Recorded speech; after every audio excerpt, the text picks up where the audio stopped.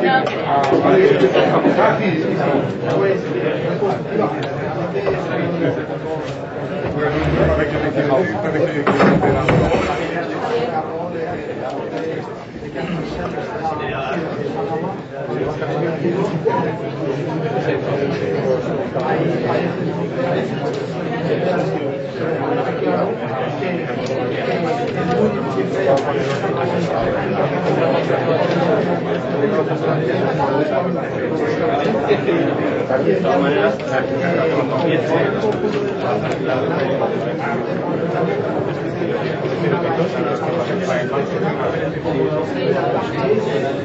Cuando empiece, vas a por ella y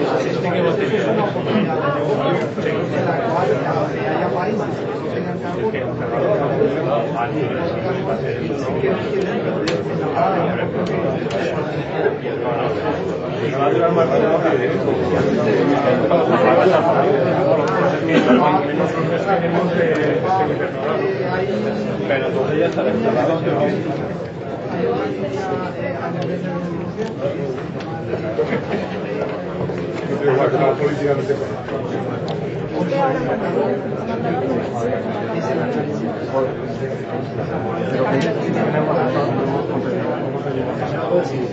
Espero que no sé si ir a buscar.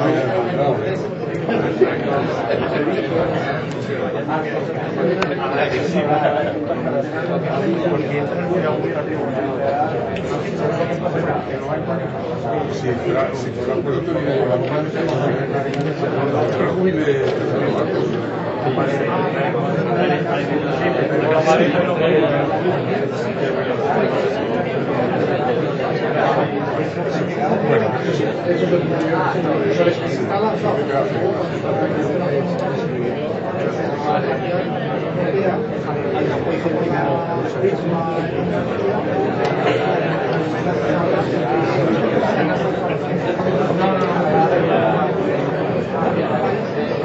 de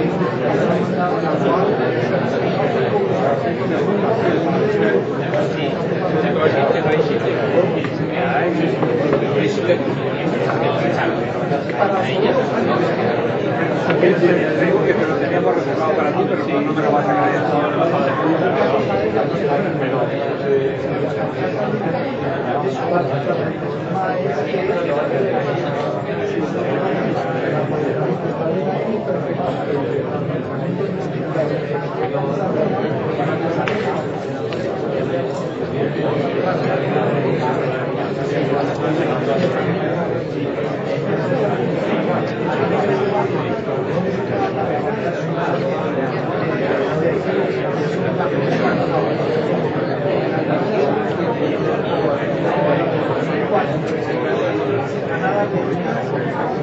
Digo que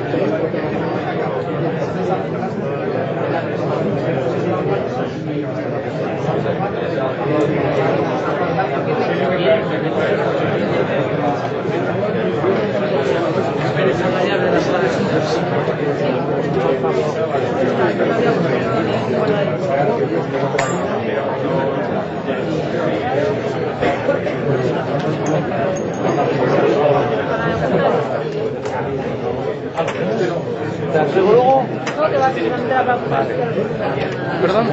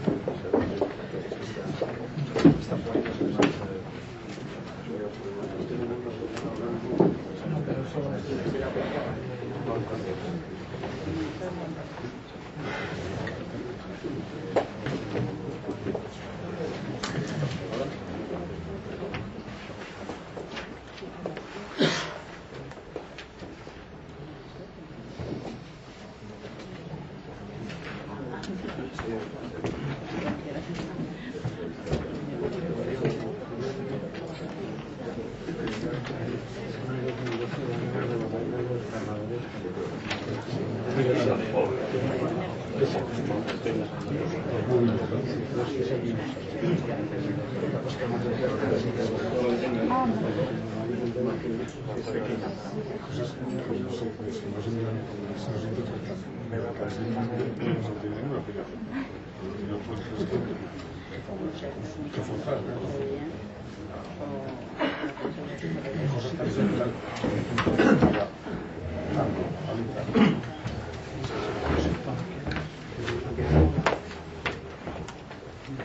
Buenas bienvenidos a todos. Lo primero, pedir disculpas por este pequeño retraso debido a la reconfiguración de la sala, de la que nos tenemos que alegrar porque demuestra lo que ha tenido esta convocatoria.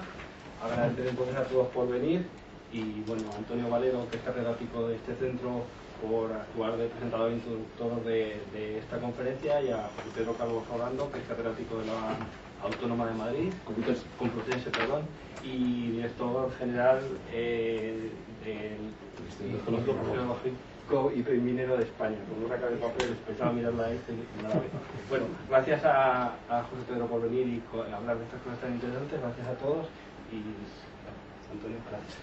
Bueno, pues buenas tardes para mí es un placer, eh, digamos, presentar a, a José Pedro. Eh, por centrar las cosas, hace cuatro o cinco años eh, este tema yo creo que en la sala hubiéramos estado a lo mejor José Pedro y yo y unos cuantos más, pero no, no muchos. Eh, eh, el tema, el Instituto Carroquímica, por ejemplo, seguro que llevan muchos más años y esos sí que también habrían estado. Pero lo que sí que es un tema este realmente importante para la humanidad. Nos estamos jugando mucho en el tema de las emisiones de CO2 es mejor tener el CO2 almacenado que por ahí dando mal. Porque algún día las generaciones posteriores podrán utilizar el CO2 si lo almacenamos. Si no lo almacenamos, no hará más que daño. Entonces es un tema que desgraciadamente muchos países están basando su desarrollo, no me quiero meter en la, en la charla de José Pedro, basando su desarrollo en el carbón. Y, en el- y seguimos utilizando los petro- el petróleo y el gas en un noventa y tantos, noventa y tantos por ciento a nivel mundial eh, de combustibles fósiles. Los números depende de cómo se hagan las cuentas, se utiliza desgraciadamente también biomasa mal utilizada, etcétera. Entonces, es un tema que nos, que nos influye muchísimo y eh, tenemos que hacer una reflexión seria como sociedad y, y como aragoneses, en, en este caso, de que eh, nuestro, digamos, nuestra factura o nuestra producción energética en un porcentaje muy importante está basada en el uso del carbón. Eh, ¿Y quién mejor hablar de esto? Pues eh, eh, los que no lo conozcáis, el Instituto Geológico y Minero es uno de los grandes, importantes institutos nacionales de España.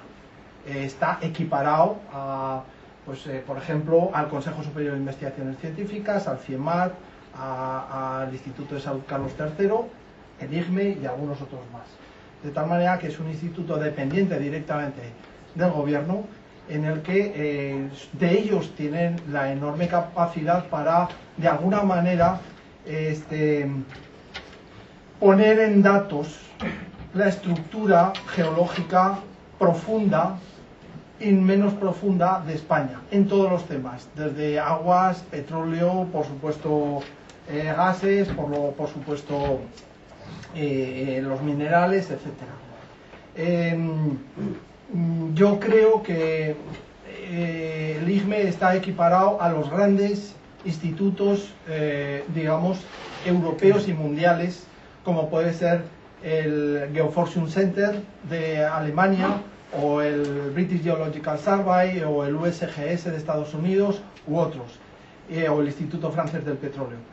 Eh, cada uno, lógicamente, muchas veces se proporciona al tamaño del, del, del país, pero no cabe duda de que eh, de ellos depende muchísimos de los datos y ellos, eh, digamos, todas esas bases de datos y todo ese conocimiento lo brindan y lo dan pues para que en España estemos conocedores de nuestra infraestructura geológica y de esa manera pues explorar todas las riquezas que tenemos que bien mm, que buena falta va- van a tener en los próximos en, este en este siglo entonces José Pedro es el director del IGME entonces eh, José Pedro es doctor en ciencias geológicas y es catedrático de la como nos ha dicho de la Complutense de petrología y geoquímica.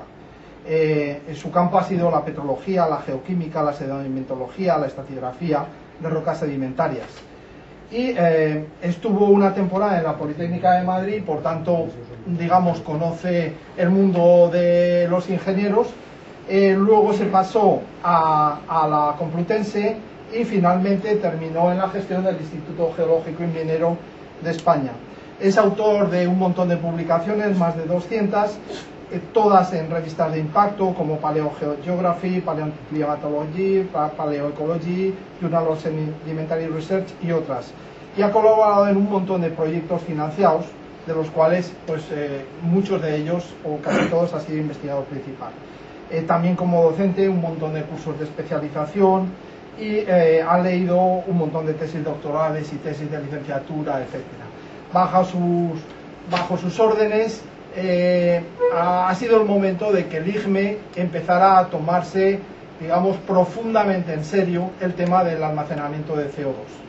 Y eh, han montado una estructura, diríamos, ad hoc para tratar de tomarse lo más en serio que se pueda el tema de CO2 y a pensar que eh, la Unión Europea tiene un gran proyecto que se llama el, el Flagship Program, en la cual se van a montar para demostrar eh, las capacidades de captura y almacenamiento de CO2.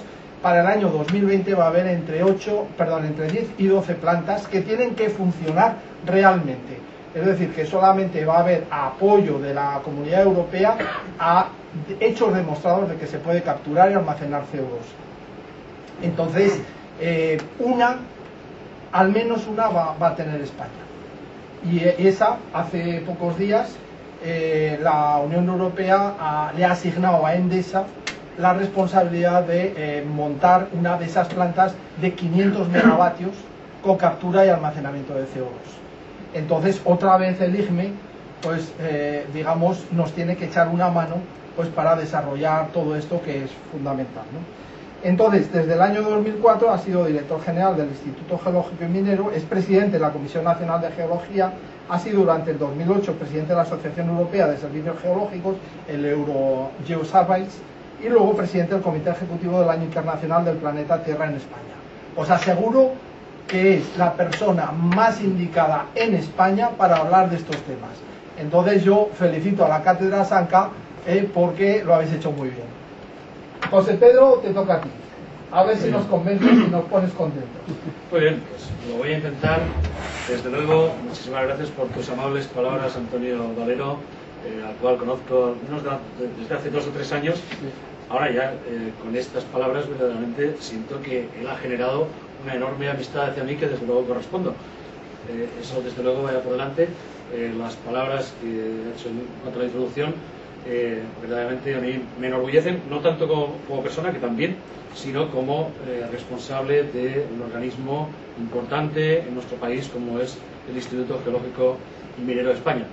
Eh, quiero desde luego mostrar mi agradecimiento a la Cátedra Sanca, al, eh, al- complejo, al, al Centro Politécnico Superior de la Universidad de Zaragoza, a las personas que me han acogido muy directamente, muchísimas gracias, doctor Sánchez, y eh, desde luego estoy verdaderamente eh, abrumado por la cantidad de audiencia eh, excelente y exquisita eh, que está en esta sala y que pues, de alguna forma está respondiendo a un interés por el tema que se va a hablar, lo cual para un conferenciante desde luego es el punto de partida crítico que le hace estimularse e intentar que lo que voy a contar verdaderamente llegue, sea claro para toda la gente, no sea ni mucho menos aburrido y desde luego eh, sea interesante para suscitar el debate que sea necesario. ¿eh? Desde ese punto de vista vamos a hablar de un tema que es, como figura como título de la, de la conferencia, la opción del almacenamiento geológico de CO2 frente al cambio climático. Ya Antonio Valero estaba indicando en qué parámetros nos estamos moviendo.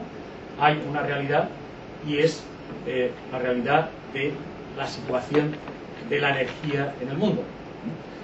Aquí tenemos en este gráfico una curva eh, general de la demanda mundial de energía con un periodo que va desde algo más de 1900 con una proyección hasta 2100. Y en ese sentido, pues vemos la línea ascendente para lo que serían los combustibles convencionales: el petróleo, el gas licuado, el gas, el gas licuado, el gas natural, el carbón, eh, la eh, energía nuclear y, desde luego, otra serie de energías alternativas que son las que, de alguna forma, están dándonos cómo es el futuro, futuro energético de nuestro mundo. Evidentemente, con todas las incertidumbres de las proyecciones, de las perspectivas. Pero bueno, ahí está. En cualquier caso, sí hay un hecho bastante evidente, y es que eh, la combustión, la quema, el uso energético de combustibles eh, fósiles genera gases de efecto invernadero. Y tenemos desde la era industrial, todo el desarrollo, pues, eh, algunas eh, cuestiones como inmediatamente vamos a hablar. Entonces, la proyección, desde luego, es que los gases de efecto invernadero, su presencia, su emisión, ¿eh? ahí hablamos, eh, por supuesto, de CO2, hablamos de CH4, hablamos de nitrógeno, hablamos de SO2, eh, de una serie de gases variados que se emiten por procesos artificiales, procesos industriales, van a estar presentes porque va a estar presente también la- el uso de determinados combustibles para la satisfacción de las necesidades energéticas del mundo, del planeta, la humanidad evidentemente, y entonces tenemos esta perspectiva. De tal forma que habrá, supone evidentemente que habrá unos picos de uso tanto para el petróleo, para el gas natural, para el carbón, pero eh, muchas de estas eh, eh, sustancias van a perpetuarse también en el futuro. Y esto, enlazando con lo que indicaba eh, Antonio Valero para el tema del carbón, posiblemente esta línea, este ámbito del carbón, sería incluso más amplio. ¿eh? Son predicciones, evidentemente, pero bueno, esto es lo que nos marca cuál es la situación eh, en cuanto a la demanda de la energía. Evidentemente, todo esto genera un problema. El problema son las evidencias de cómo gases de efecto invernadero han incrementado su presencia en la atmósfera del planeta de una forma tan neta como lo que podamos ver aquí. En un periodo de desde hace 10.000 años hasta la actualidad tenemos que, coincidiendo básicamente con la era industrial, hay un incremento fortísimo de lo que serían las proporciones, los porcentajes medios de CO2, ppm, en eh, la atmósfera del planeta. Igual pasa para el metano, igual pasa también para el, el, el óxido de nitrógeno.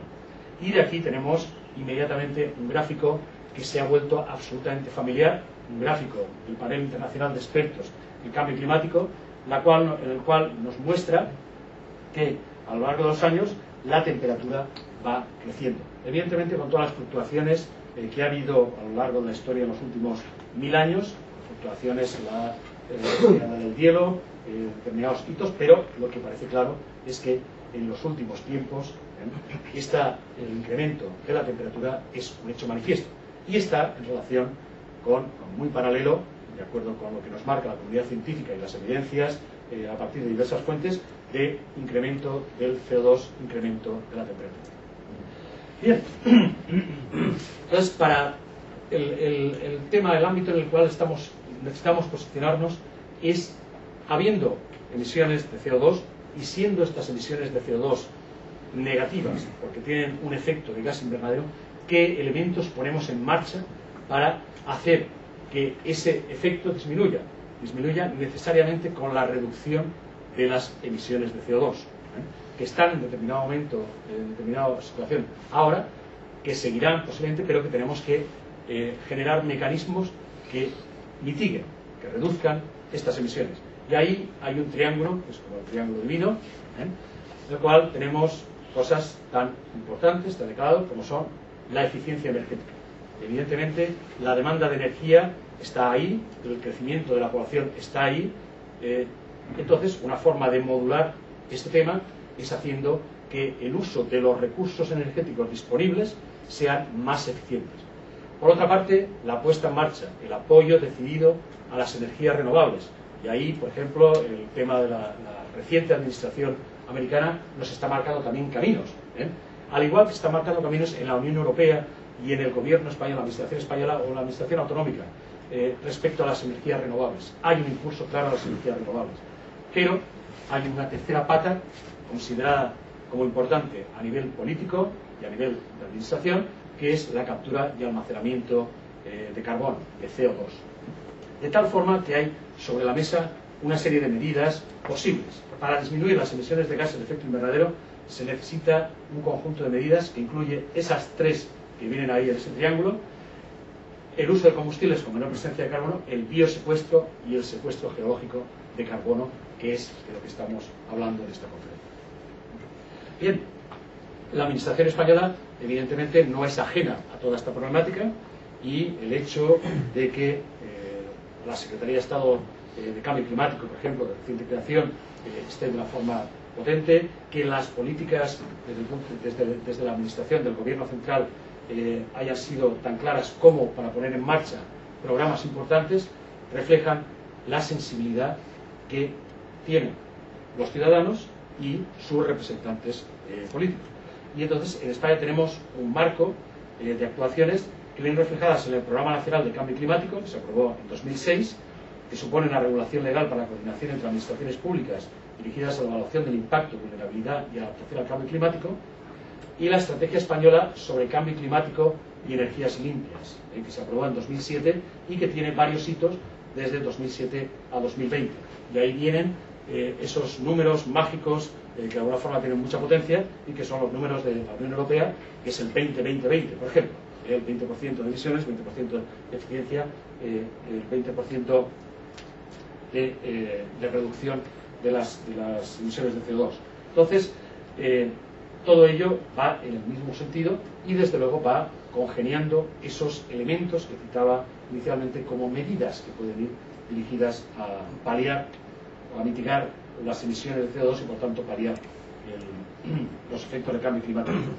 Y dentro de esta estrategia, española de cambio climático y energías limpias, pues este mes de, julio, si no recuerdo mal, 2008, se aprobaron varias líneas estratégicas sobre cambio climático que incluyen la la- los residuos y gestión de materiales eh, orgánicos, estiércol, movilidad sostenible, edificación sostenible, sostenibilidad energética y ahí, desde luego, sí me gustaría indicar de los tres conceptos de sostenibilidad energética está el plan de ahorro y eficiencia energética, el plan de energías renovables y también se contempla la captura y almacenamiento eh, geológico de CO2 atisbando la necesidad de una regulación y la necesidad de tener definido un mapa de potenciales lugares de almacenamiento, más luego también impulsar la investigación y desarrollo en temas de captura.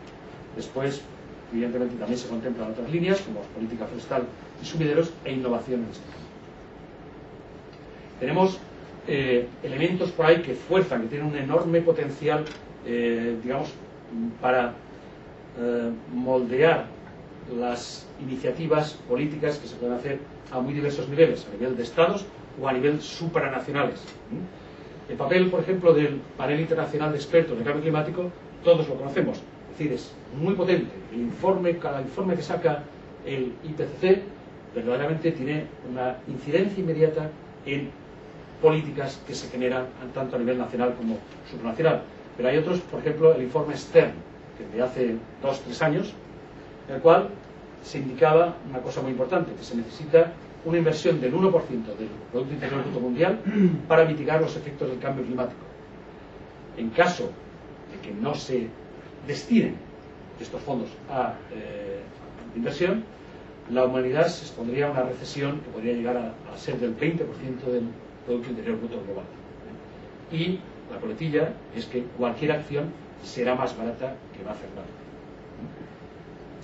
Entonces, vienen conceptos como es necesario reducir del 50 al 80% de las emisiones globales para estabilizar el clima en 2050, son cuestiones del IPCC, y de nuevo volvemos a esos tres eh, elementos del triángulo que se acaba anteriormente, que básicamente va a ser la, eficiencia energética, las energías renovables y la captura y almacenamiento de CO2 los que verdaderamente aportarán de una forma neta a esta voluntad de resolver el problema.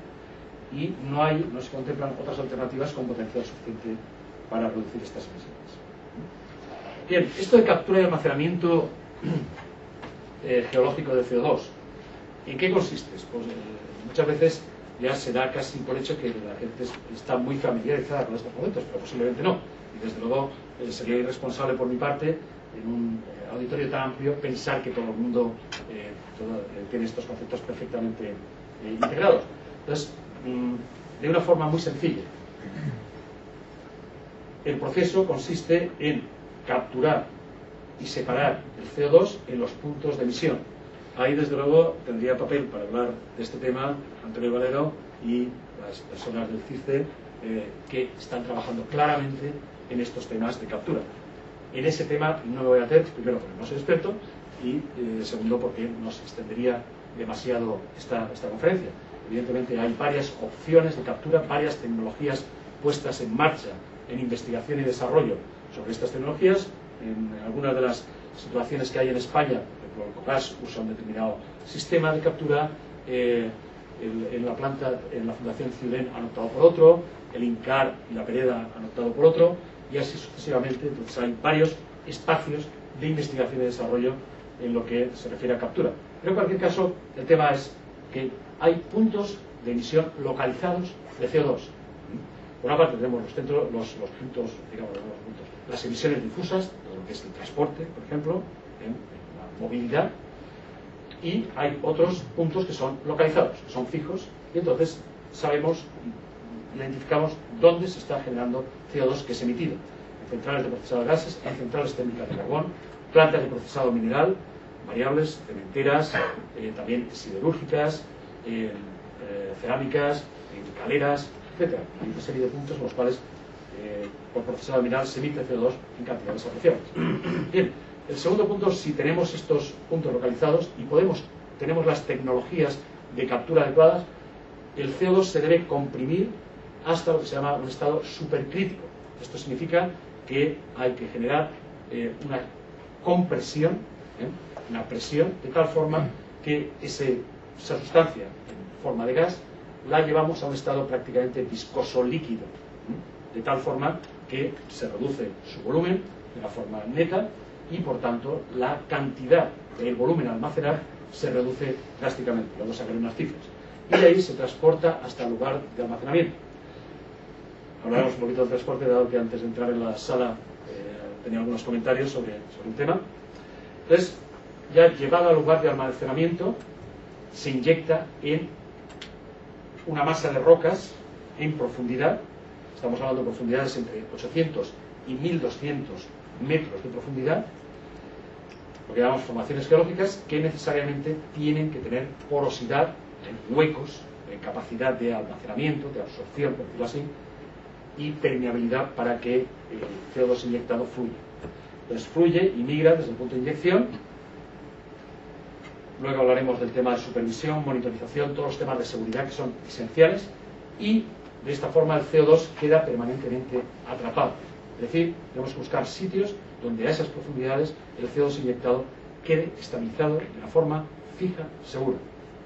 Y ahí entraremos en algunos aspectos. Bien, entonces tenemos, por decirlo así, tres apartados, tres cajones esenciales que forman un continuo. Por una parte, la captura.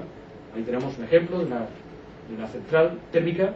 Entonces, en los temas de captura, la cuestión esencial es tecnología, desarrollo tecnológico. Saber qué, eh, digamos, complejos técnicos tenemos que elaborar para que el efecto de captura, sea cual sea, eh, sea un proceso eficiente, eficaz, eh, económico, suficientemente económico, que evidentemente vaya a eliminar en los puntos de partida, los puntos de emisión, de la forma más drástica posible la emisión de CO2. Entonces, pero es un tema muy tecnológico. Si alguien tiene otra opción que me lo diga, pero lo veo una cuestión muy tecnológica. Transporte. Transporte necesitamos infraestructuras. ¿eh? Lo mismo que en el gas natural se transporta a lo largo de gasoductos, se está hablando de geoductos. ¿eh? Serían más o menos que, eh, tuberías, líneas de transporte que, como decía, tienen también sus problemas, porque hay problemas de corrosión, hay problemas de eh, hacer que el sistema, ese material que vamos a poner en transporte, evidentemente esté bien canalizado, canalizado también de forma efectiva, pero con seguridad. Y tendríamos un tercer aspecto que es el de el almacenamiento. El almacenamiento, ahora veremos diversas posibilidades de sitios de almacenamiento, pero ahí ya no solo es tecnología, es también geología. Es decir, hay que conocer exactamente cómo son esos potenciales almacenamientos, dado que estamos introduciendo esa sustancia, ese CO2 en estado supercrítico, en profundidad. Y eso no se hace en cualquier sitio. Hay sitios que lo permiten y hay sitios que no lo permiten, porque no tienen capacidad de almacenamiento. Ese es un concepto en el cual iremos ahora. Entonces aquí tendríamos eh, todo este proceso desde el punto de eh, emisión de CO2, por ejemplo, la planta térmica.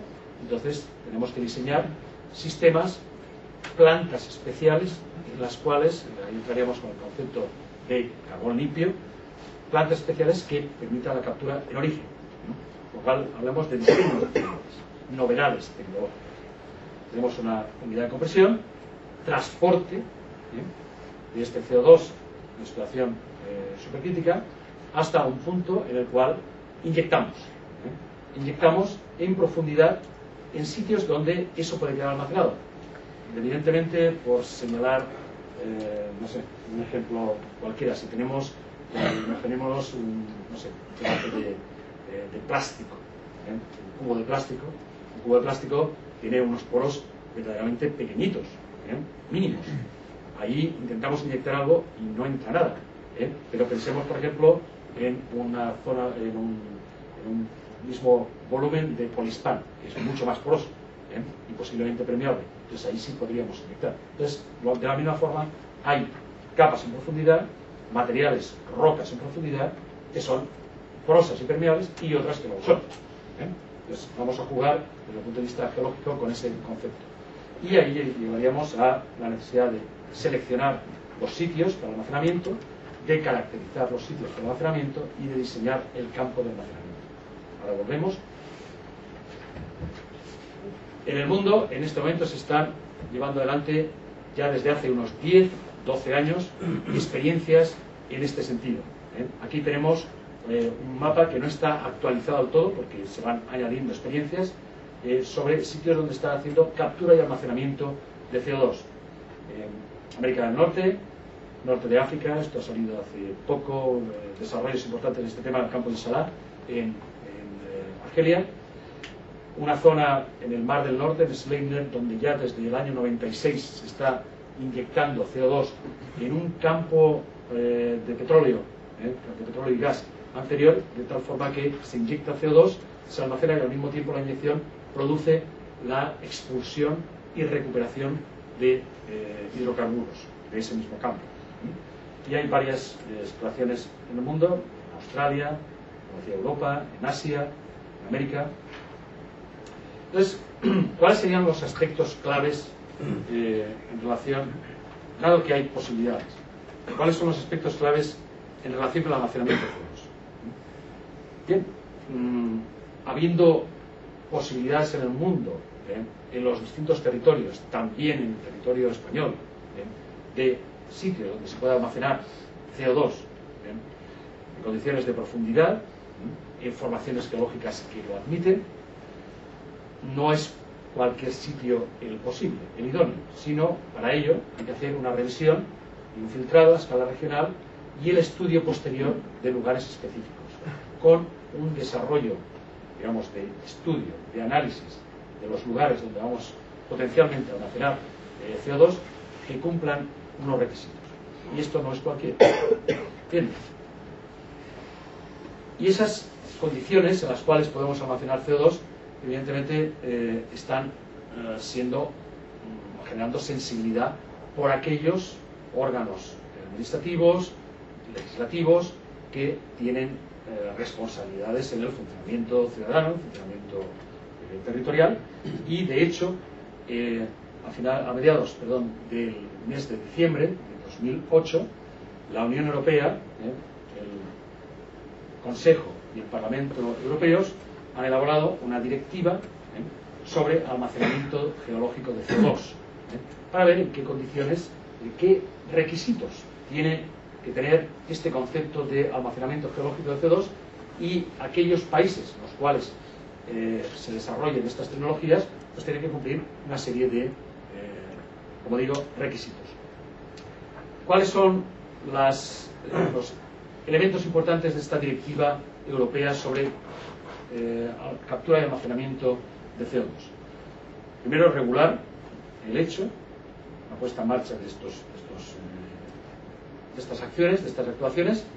El área geográfica cubre esta directiva es el territorio de los Estados miembros, su zona exclusiva y la plataforma continental.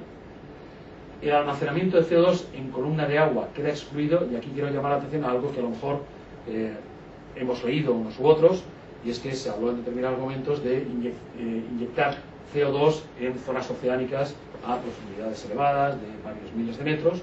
Esto la directiva europea lo aparca, lo deja de lado, no lo considera. ¿eh? Aunque el panel internacional de expertos para el cambio climático sí lo ve como una opción. Y después, en cuanto a los lugares de almacenamiento, la directiva indica que los Estados miembros decidirán sobre ellos de acuerdo con criterios establecidos en uno de los anexos de la Y para ello, alguien debe autorizar.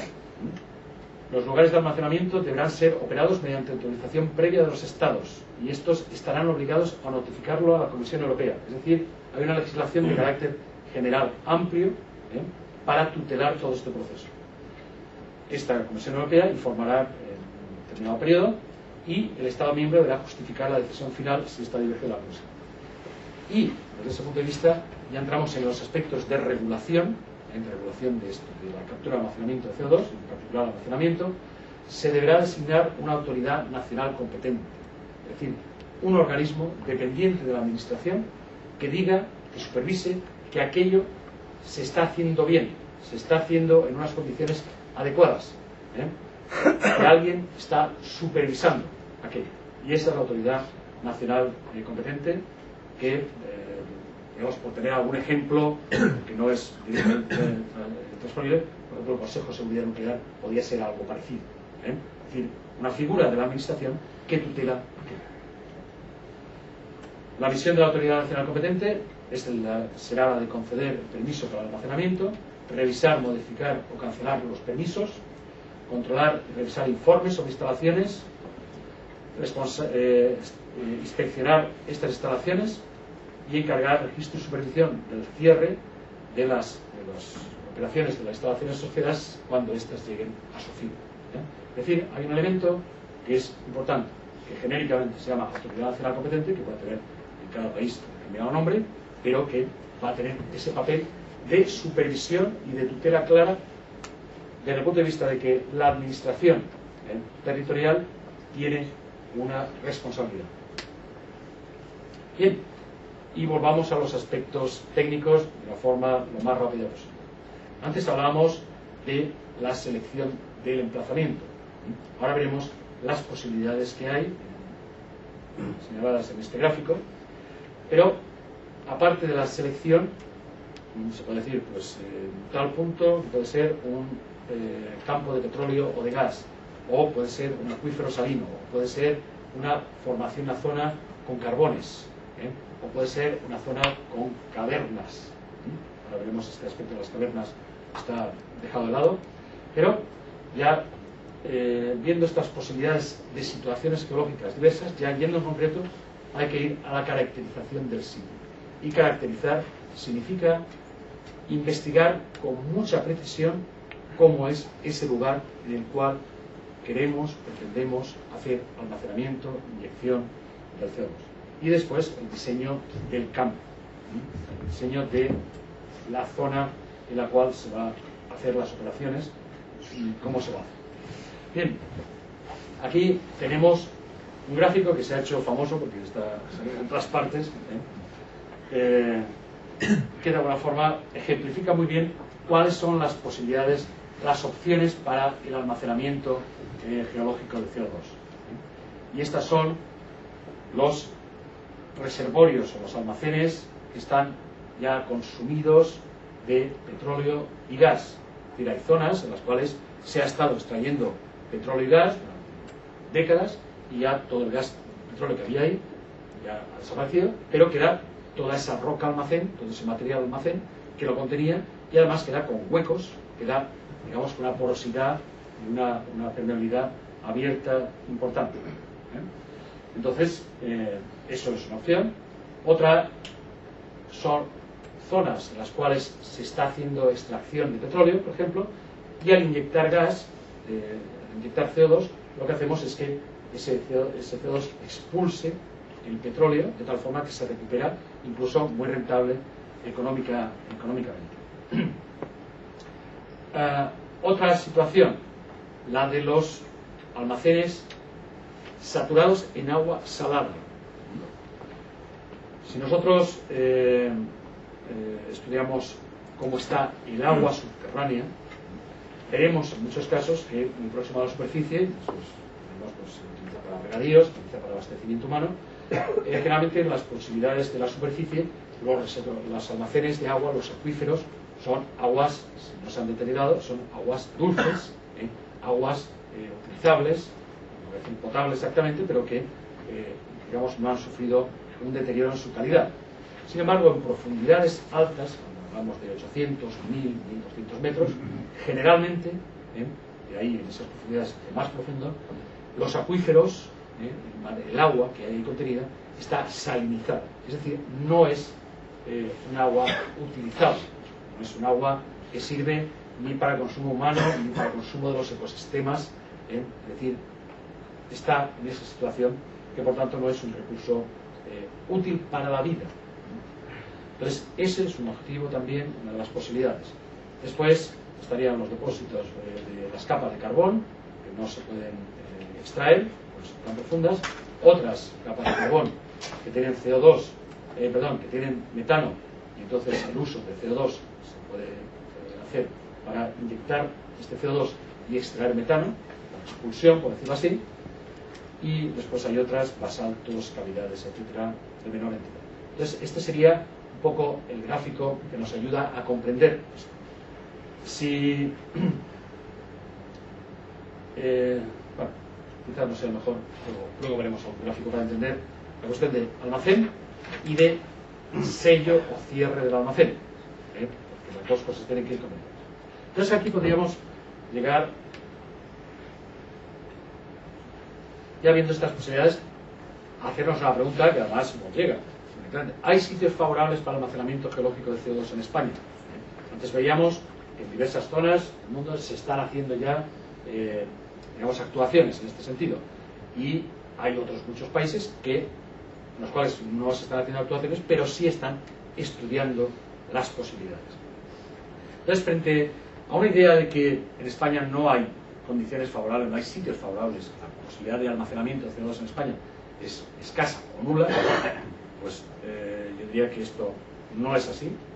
Voy a intentar eh, demostrarlo, pero hay que hacerse una serie de preguntas. ¿Cómo podemos saberlo? ¿Dónde podemos almacenar? ¿Cuánto podemos almacenar? ¿Con qué grado de confianza y seguridad? ¿Y cuál será el coste del almacenamiento? Estas son preguntas que hacemos alrededor del tema del almacenamiento eh, geológico de CO2. Bien, ¿y cómo podemos saberlo? Pues hombre, eh, si hablamos de almacenamiento geológico de CO2 y si recordamos que al sacar los tres pasos esenciales al hablar de almacenamiento sacaba tecnología y geología, evidentemente hay que tener un conocimiento geológico adecuado del territorio. ¿Qué tenemos en España? Eh, nos podríamos hacer la pregunta, ¿no sabemos nada de nuestro territorio? Pues hombre, yo, si respondiéramos sí, eh, no sabemos, vamos, o no, no sabemos nada, cogía yo y me iba porque estoy en la dirección de un organismo que ha tenido precisamente el encargo de llevar adelante la infraestructura de conocimiento geológico del país. ¿eh? Y de hecho, España a nivel de superficie, de su territorio, superficie, y por tanto también lo que se ve en superficie geológicamente se puede trasladar, proyectar un poquito en profundidad, un poco, pues España es uno de los pocos países del mundo que tiene una, un conocimiento de la geología de su territorio a una escala detallada, ¿eh? y diría que hay dos o tres países en el mundo que la tienen, ¿eh? de una forma completa. En este caso a escala 1.50.000, de todo el territorio nacional. Entonces, España cuenta con una buena base de conocimiento de sus características geológicas. De superficie al menos. En profundidad. Pues en profundidad contamos ahí con una situación eh, asimétrica, heterogénea. Hay zonas que se conocen bastante bien. ¿Por qué? Porque se ha explorado, sobre todo en los años 70, en los años 80, se ha explorado el potencial de petróleo y gas que había en España. ¿eh? Entonces ahí tenemos todo esto que viene aquí, son líneas sísmicas, perfiles sísmicos, zonas donde se han hecho sondeos y vemos que hay determinadas zonas donde se ha focalizado mucho la investigación, la exploración y otras donde no. ¿eh? Evidentemente, cuando se busca gas y petróleo, se buscan formaciones rocosas por, porosas y permeables. ¿eh? Y esto nos habla algo de la geología de España, la parte oeste de la península ibérica está hecha por granitos, está hecha por neises, está hecha por materiales no sedimentarios que tienen porosidad y permeabilidad muy escasa. Luego ahí no se ha hecho prácticamente exploración y no serían sitios adecuados para ello. Pero sí hay otra serie de zonas en depresiones como la, la, cuenca del Guadalquivir, la cuenca del Tajo, la cuenca del Ebro, toda la zona Maestrazgo y zona del Mediterráneo, donde ha habido incluso campos de petróleo, como sabemos, la zona de Costa, de la, la costa catalana, también en la parte norte, en la norte hay varios campos eh, de gas, en, en offshore, fuera de plataforma, es decir, tenemos una información regular, parcial, desde luego, y no muy completa como si fuéramos un país de alta producción, de alto potencial en petróleo y gas. Pero sí se ha hecho investigación del subsuelo en España, que nos permita conocer cómo es el territorio español a profundidades de varias centenas de metros. Eh, ¿A través de qué? Pues de la exploración y gestión de aguas subterráneas, por lo menos unas centenas de metros, unas escasas centenas de metros, ahí conocemos algo, dependiendo de las zonas. En algunos casos hay acuíferos muy profundos, en este momento hay acuíferos que están explotando casi a los 800 metros, 700, 800 metros en algunos sitios. Después hay informes geofísicos para exploración minera. España ha sido un país con una cierta tradición minera y se han hecho exploraciones para ver esas posibilidades. Se ha hecho exploración de petróleo y gas, se ha investigado las posibilidades en energía geotérmica. En todos los años 70, 80, eh, para esto que llamamos energía geotérmica de alta entalpía, es decir, aquello que nos puede estar en las varias decenas hasta una centena de, grados, ¿eh? Eh, con lo cual estaríamos hablando de profundidades que pueden ser, en algunos casos, hasta unos centenas o algunos miles de metros. Después se ha investigado también en almacenes temporales de gas, aunque no hay en este momento operativo ningún almacén temporal de gas, pero sí hay cuatro al menos eh, estudiados y uno de ellos a punto de ponerse en marcha. Y por último estaríamos con el almacenamiento geológico de. Es decir, se conoce algo del subsuelo que da posibilidades. Y entonces se han hecho eh, ya eh, estudios preliminares de formaciones geológicas favorables para el almacenamiento de CO2 en España, basada en la información geológica de superficie, como decía antes, en sondeos, en perfiles sísmicos y se han definido algunas unidades o formaciones de interés, es decir, dentro de los materiales que forman el territorio español hay algunos conjuntos de rocas, algunas formaciones que tienen características apropiadas para ser almacén, sitios donde hay capacidad de almacenar, de retener ese material que inyectamos y por otra parte eh, están combinadas con formaciones sello, es decir, que por encima, por debajo, sobre todo nos por encima, las taponan, son impermeables y permiten que lo que almacenemos ahí, en el caso de que se pudiera excavar, no lo haga. Entonces eh, hay áreas preseleccionadas en varias de las unidades geológicas españolas, las Béticas, los Pirineos, la Ibérica, Guadalquivir, Cuenca del Tajo, Cuenca del Ebro, Cuenca del Duero, algo en el macizo ibérico. Este sería un mapa geológico de España. No voy a, no voy a detenerme en señalar cada una de, las, estas zonas. Y si se quiere ver con un poquito más de detalle esto, pues en la página web del INME, eh, se puede entrar un poco a ver estas, estas zonas más concretas. Y se han hecho estos estudios preliminares definiendo algunas zonas potenciales de interés. Tenemos ahí un mapa hecho por el Instituto Geológico y Minero hace tres años aproximadamente, la cual se definen pues, zonas en las cuales hay información, no hay información, eh, cuáles se pueden descartar, cuáles no, eh, cuáles serían eh, aquellas que contienen carbón, es decir, una serie de elementos que nos permiten, por lo menos, tener una idea de dónde sí, dónde no, por lo menos una primera aproximación. Y de ahí se ha hecho una valoración, porque se ha participado, se está participando en proyectos eh, europeos que marcan algunas pautas. Por ejemplo, el proyecto, proyecto, Geocapacity eh, de la Unión Europea iba dirigido a que los países participantes, que eran muchos de la Unión Europea, eh, definiesen por lo menos los grandes números de la capacidad de almacenamiento en cada uno de los países.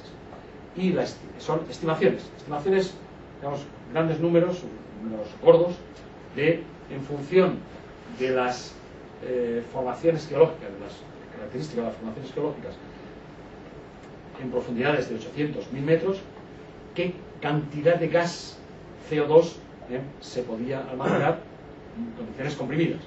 Y una estimación hecha por el Instituto Geológico y Minero es que en España podemos estar hablando de 23 gigatoneladas significa 23.000 millones de toneladas.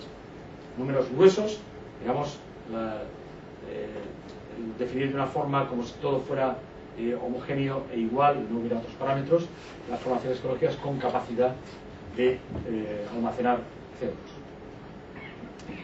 Voy a pasar rápidamente a lo que respecta a España.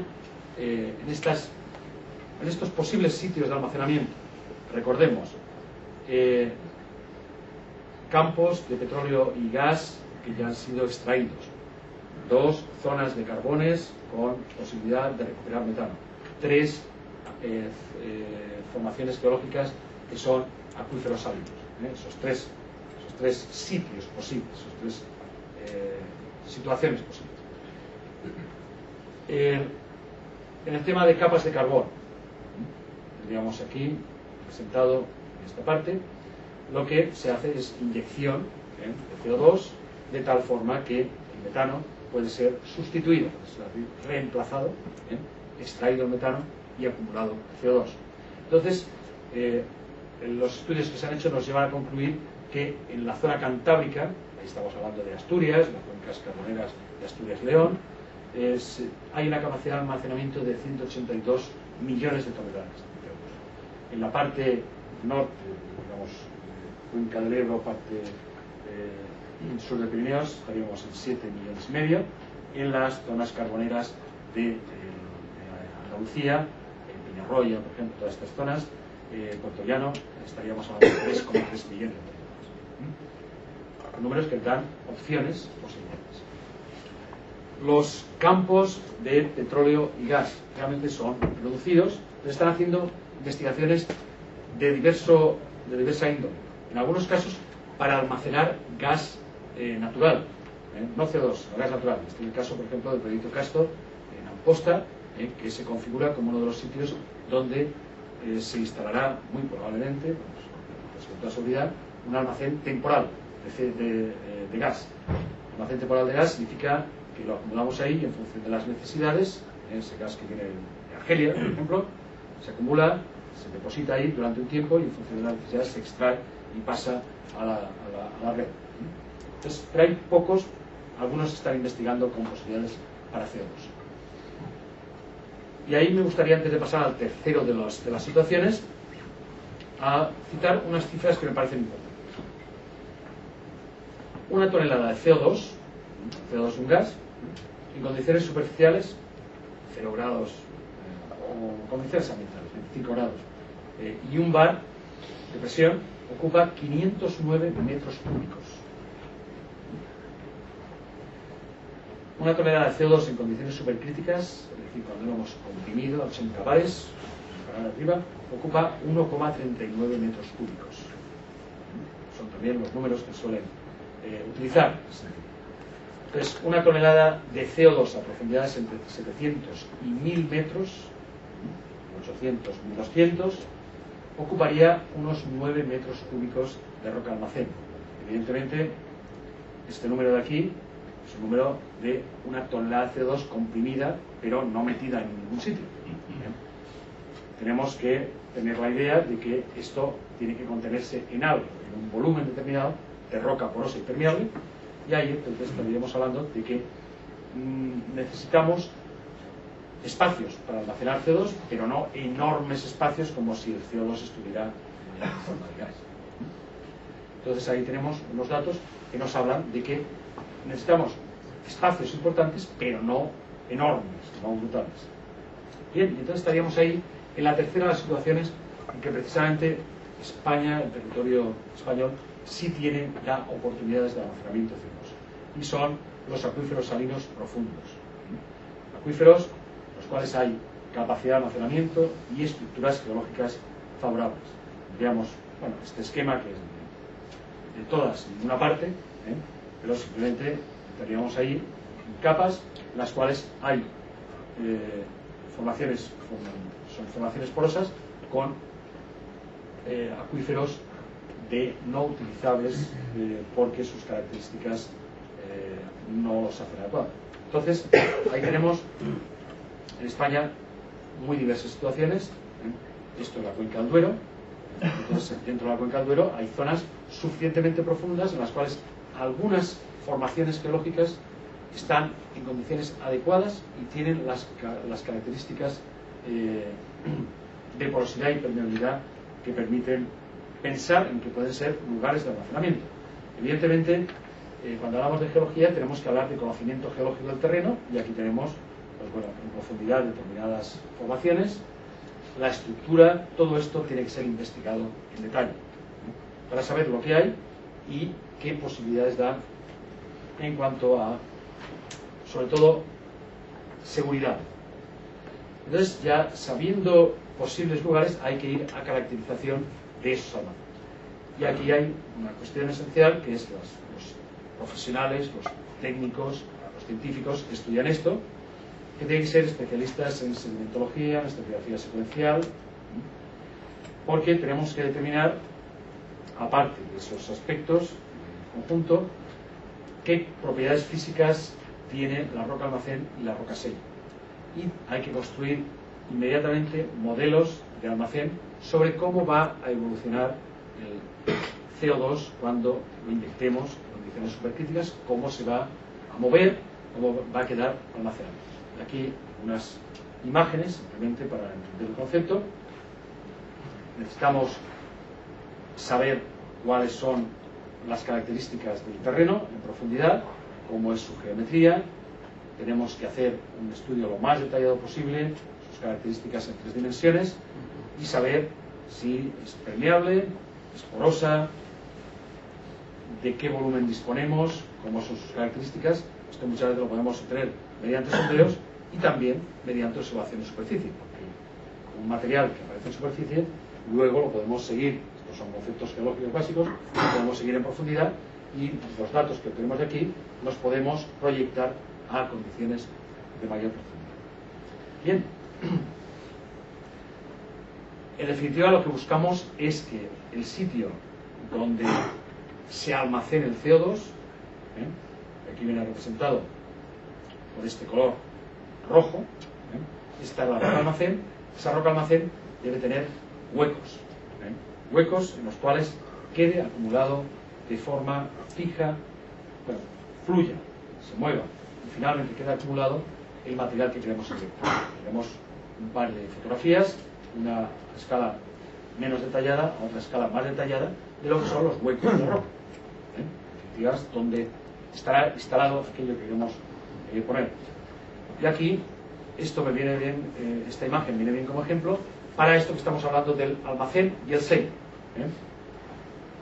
Esto es roca almacén, esto que lo cubre es una roca impermeable, un material impermeable que hace que si inyectamos de aquí a aquí, esto se nos quede en este material que puede absorberlo, dentro del cual puede fluir, pero la estructura va a quedar cerrada, de tal forma que esto que hacemos aquí no vuelva a la superficie. ¿eh? Las formas, desde el punto de vista geológico, pueden ser muy variadas. Esto sería un almacén homogéneo, esto es un almacén multicapa, es decir, aquí hay una capa permeable, otra capa permeable, otra capa permeable, y entre medios hay capas, capas eh, impermeables. Si esto lo llevamos a gran escala, a escala de decenas, centenares de kilómetros, entonces podemos obtener pues, situaciones reales, como son esta que viene aquí dibujada, en la cual determinadas zonas del terreno en profundidad permiten la inyección y el movimiento del CO2 y su acumulación final y tenemos esta estructura de sello que la cierra y que impide que salga la. ¿De acuerdo? Esto es lo que se busca inicialmente, eh, lo que se busca con la investigación eh, desarrollada en cuanto a almacenamiento. Evidentemente, el que haya una zona favorable para el almacenamiento de CO2 también tiene que tener en cuenta dónde se está emitiendo, dónde se está capturando el CO2 y la distancia eh, que debe ser transportada. Evidentemente, en términos económicos, será más adecuado el que encontremos zonas de almacenamiento próximas a las zonas de captura de emisión y captura que muy alejadas. Pero bueno, ahí el terreno es lo que condiciona. Pero es importante saber dónde están los puntos de emisión esenciales. Este es el parque, es un mapa para el parque de centrales térmicas de carbón en España y con las emisiones de CO2 de cada una de ellas, son números que bueno, podemos revisar si se quieren, son cantidades que pueden ser importantes de varios millones de toneladas anuales cada una de ellas. Y este sería un gráfico en el cual se ponen las instalaciones esenciales, ¿eh? con más de 100.000 toneladas de CO2 emitido año eh, en el conjunto del territorio español. Eh, se catalogan las 227 instalaciones que incluyen centrales térmicas, que incluyen siderúrgicas, que incluyen cementeras, eh, etcétera, y se, para 2007 se calculó que el volumen de, perdón, el peso de CO2 emitido, la cantidad de CO2 emitido, fue de 180 millones de toneladas, a partir de los puntos fijos de emisión. Que suponen el 42% del total de emisiones de CO2 en España año 2007. Es decir, son cantidades verdaderamente importantes. Entonces, ¿qué nos planteamos eh, desde eh, organismos como eh, el honor de, dirigir o se están planteando mm, otros muchos organismos también en España y en cualquier eh, lugar de fuera de nuestras fronteras, en países como Francia, como Gran Bretaña, como Alemania, como Holanda, como Dinamarca, como Noruega, etcétera, etcétera, etcétera. ¿eh? Pues eh, se están planteando el seleccionar los sitios favorables para almacenamiento de CO2. Y nosotros en España también porque esto va a ser un requisito que si perdemos el tren podemos perder muchas oportunidades la fundamental, el que se estén haciendo emisiones en España, en España se estén haciendo emisiones de CO2 excesivas, ¿eh? es decir, hay que contribuir desde alguna de las patas, eh, desde las tres patas de ese triángulo, y una de ellas es captura y almacenamiento de CO2, se tiene que contribuir a la reducción de emisiones de los objetivos principales de este programa, de esta hoja de ruta de selección de sitios favorables, cuáles son identificar y seleccionar formaciones geológicas con capacidad para almacenar CO2 en volúmenes suficientes ¿eh? y en un contexto económico aceptable. Evidentemente, poco se podrá hacer si para eh, digamos, los agentes que están ahí implicados, si, si el, el, mercado de, de emisiones eh, está tenemos en 25 euros tonelada de CO2 emitido y la captura y almacenamiento de CO2 vale 120. Pocos va a haber que se presten, entren en ese, en ese proceso. Entonces hay que ir a una aproximación de las cifras de costes de captura y almacenamiento de CO2 eh, con relación a las cifras de, de emisión, del mercado de emisiones de CO2. Y después, caracterización de los lugares seleccionados de una forma verdaderamente precisa. Entonces, esto nos va a llevar, nos está llevando ya a aproximaciones sucesivas de ese filtrado de lugares posibles, de lugares potenciales. La idea, esencialmente, pensamos que se pueden seleccionar en el conjunto del territorio nacional unas 40 a 60 áreas, ¿eh? áreas favorables, zonas lógicamente favorables, de tal forma que se cumplan todos esos requisitos de capacidad de almacenamiento en volumen eh, suficiente, condiciones de estanqueidad garantizadas y condiciones de, eh, digamos, de seguimiento absolutamente seguras. Vamos a llevar adelante un proceso, un proceso de investigación que lleve a modelizar en tres dimensiones, es decir, claramente eh, definir la geometría, los volúmenes potenciales de eh, capas favorables para el almacenamiento, formaciones favorables y formaciones de sed. Y este sería poco nuestra hoja de ruta. La hoja de ruta desde el momento donde estamos hasta el final. En ese trayecto, el Instituto Geológico y aquellos que entendemos de geología, los aspectos geológicos del almacenamiento de CO2 iremos eh, durante un cierto trecho y después hay otros aspectos que evidentemente ya influyen más aspectos tecnológicos. ¿eh? La evaluación previa de la capacidad de almacenamiento está realizada. He señalado algunos ejemplos anteriormente, zonas descartables, zonas descartables, eh, potencial de almacenamiento, grandes números, Segundo, identificación de potenciales emplazamientos de almacenamiento. Está en realización. Tercero, caracterización del emplazamiento en el sentido complejo almacén sello. ¿Eh? Hay que hacer geología de detalle, hidrogeología, geofísica, sondeos, modelización geométrica y matemática, simulación, análisis de riesgos, es decir, muchas cosas, como se están haciendo ya en algunas plantas piloto, en algunas zonas piloto eh, por ejemplo, en el caso de Ketzin en Alemania.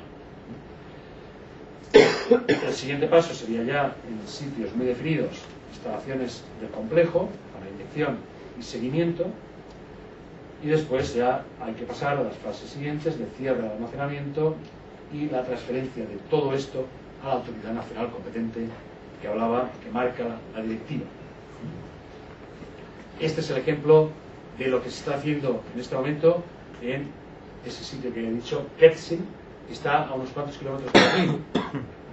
Es una zona piloto de inyección y de seguimiento de cómo se realiza la inyección y el almacenamiento en esa zona, con una monitorización exhaustiva, con un seguimiento verdaderamente preciso para ver cómo evoluciona aquello y qué procesos se realizan. La idea, eh, para eh, digamos, el comentario este de lo de la monitorización seguimiento, es que hay aún mucho trabajo que hacer. ¿eh?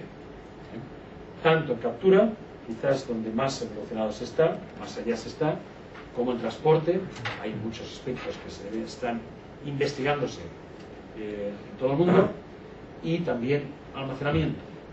Y las cuestiones se plantean no para el año que viene, pero sí para dentro de unos años. ¿eh? De hecho, estas plantas de demostración, se indicaba anteriormente que la Unión Europea está financiando, está llevando adelante, tienen un periodo de instalación 2015 y una, un, eh, digamos, un, asegurar su buen funcionamiento en 2020. O sea que estamos en un horizonte de 10, 12 años para que todas estas cosas estén suficientemente investigadas, tratadas, de tal forma que permitan llevar adelante actuaciones ya concretas. Volviendo a la pregunta eh, que señalaba hace un rato, ¿hay sitios favorables para almacenamiento geológico de CO2 en España? La respuesta es sí. Hay capacidad de almacenamiento, hay estructuras geológicas favorables, aunque la información geológica del subsuelo está dispersa. Se necesita investigar más, concretar más, precisar más. ¿eh? Esto supone un importante soporte económico, pero supondrá un progreso científico y tecnológico elevado, que además es transferible a otros países, a otras situaciones. ¿eh? Y de hecho, uno de los vectores del trabajo es que aquellos países que opten y que están, estarán necesariamente en el uso durante tiempo, décadas, eh, consumiendo combustibles fósiles, la captura y almacenamiento de CO2 será algo que estará ahí presente. Y desde la investigación, el desarrollo, el conocimiento, se podrá aportar, transferir conocimiento y también, no decirlo, eh, digamos, negocio para el saber hacer. ¿eh? Por último, se requiere una estructura legal y también, muy importante, el consenso social. Y aquí hay que entrar en esos temas, ahora volveré al asunto, y es que es crucial el que todo esto se entienda bien y se entre, digamos, en el conocimiento para eliminar miedos no justificados, para eliminar pánicos. El enemigo eh, verdaderamente del, digamos, del, bienestar es la, el no saber, no saber, el no conocer exactamente. Y entonces, desde ese punto de vista, pues hay que, eh, digamos, comunicar, hay que informar, hay que difundir ¿eh? de qué estamos hablando con todo esto de la captura y almacenamiento de CO2, que como cualquier actuación humana puede tener, puede crear incertidumbres, puede crear inquietudes, puede crear, ¿por qué no?, riesgos. ¿eh? Eh, cuando se empezaron a instalar las instalaciones eléctricas, la luz, la gente tenía pánico de los asuntos. Después está plenamente extendido y aceptado. Hay cosas, cualquier actuación humana puede crear eh, este, este tipo de, de inquietudes. Y lo que no se debe hacer precisamente es sacar de sopetón ¿eh? ideas como que ya están definidos los sitios donde se va a almacenar CO2 en España. Como pasó hace un año, ¿eh? con unas noticias, las cuales ya se pusieron zonas de reserva que el Ministerio de Industria acepta para eh, almacenar CO2. Esto no es real, ¿eh? esta no es la situación. Se han solicitado una serie de declaraciones de reserva, pero nada más, y son simplemente ubicaciones de posibles sitios. ¿eh? Pero sacado como sacó, pues evidentemente creó una alarma general. Entonces, inmediatamente los ecologistas rechazaron la, la iniciativa y advirtiendo del peligro de accidentes y escapes, y además surgieron cosas que ejemplifican el desconocimiento y la inoportunidad, con titulares como este, de un alcalde, no recuerdo exactamente del sitio, ponían depósito de qué, de qué es este, qué se llama, no hemos oído nunca hablar de esto. ¿eh? Pues claro, evidentemente las cosas no se pueden hacer así, ni para esto ni para multitud de, cuestiones que suponen novedades ¿eh? Eh, que, pueden, vamos, que están implantadas en el territorio, obviamente. Entonces ya, para terminar, simplemente me gustaría indicar que eh, confío en que se haya entendido los conceptos que han ido saliendo aquí y también me gustaría apostillar algo, que en España, aparte de que hay sitios potenciales para almacenar CO2, que hay condiciones geológicas que lo permiten, hay agentes expertos para desarrollar estos proyectos. Es decir, no partimos de una, eh, digamos, una incapacidad científica y tecnológica, por el contrario. ¿eh? Hay, por una parte, organismos expertos en el tema de captura.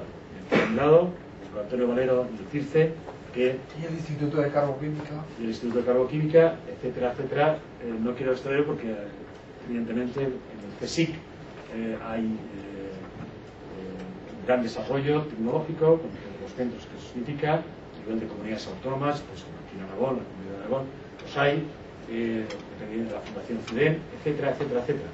Pero como decía, que no era experto en temas de captura, tampoco debe ser experto en poder señalar todos los agentes expertos en el tema. Pero sí, desde el punto de vista del almacenamiento, y aquí, discúlpenme, el burro delante para que no se espante, ¿eh? el Instituto Geológico y Minero de España, también con capacidad, Fundación Ciudad de Energía, CIEMAT, también conocimiento, en el Consejo Superior de Investigaciones Científicas, en las universidades hay personal con capacidad, tanto científico técnico con capacidad para desarrollar eh, estas iniciativas, también en compañías públicas y privadas, en Endesa, Unión Fenosa, Iberdrola, pues hay eh, gente con capacidad, con conocimiento sobre este tema, también consultoras, y a nivel de eh, ámbitos europeos eh, o de ámbitos mayores hay plataformas como la Zero Emissions, R, y agrupaciones, plataforma tecnológica C2, asociaciones para C2. Y se han desarrollado, se han desarrollado proyectos, eh, incluso antes de que entrase yo en la dirección del Instituto Geológico y Minero, un poquito antes, 2002 me parece que son los primeros proyectos, en Cogas, por ejemplo, en Puerto Llano, y se han desarrollado de la mano de las administraciones, del Ministerio de Ciencia e Innovación, del Ministerio de Industria, proyectos como el CENICO2, proyectos singulares estratégicos y proyectos financiados por la Unión Europea. Entonces, conclusiones. Con esto termino. Se necesita un conjunto bien definido de medidas para reducir las emisiones de gases de efecto invernadero. Estas incluyen el uso creciente de energía renovable, de mayor eficiencia energética, absolutamente de acuerdo, además apoyamos totalmente esto, el uso de combustibles con menor cantidad de, carbono, el secuestro biológico y el secuestro geológico, la captura y almacenamiento eh, geológico de CO2. Las proyecciones de la Agencia Internacional de la Energía, del IPCC, indican que el mundo seguirá usando combustibles fósiles a lo largo del siglo XXI. En España, para España, en China, en India. El almacenamiento geológico de CO2 no es una solución completa, pero tiene potencial para reducir. ¿eh? Incluso se hablan de cifras como en el año 2030 que suponga el 14% de la reducción de emisiones, en 2050 el 60 o incluso más de la reducción de emisiones, está ahí. Y entonces, eh, de, las, de las fuentes localizadas. Para almacenarlas, y aquí es un, es un dato que no he dado, para almacenarlas de forma segura durante miles o decenas de miles o más de años. Porque el almacenamiento geológico de CO2 incluye también el hecho de que cuando inyectamos CO2 en supercríticas, porque a esa profundidad va a estar a presiones muy altas y a temperaturas altas, va a reaccionar, va a interferir con la roca en la que está y la experimentación y la investigación nos conduce a pensar que van a formarse minerales nuevos en profundidad, de tal forma que ese material incluso no va a estar en situación gas ni en situación eh, fluido, va a estar en situación sólida. ¿Mm? Estas son investigaciones que están yendo adelante.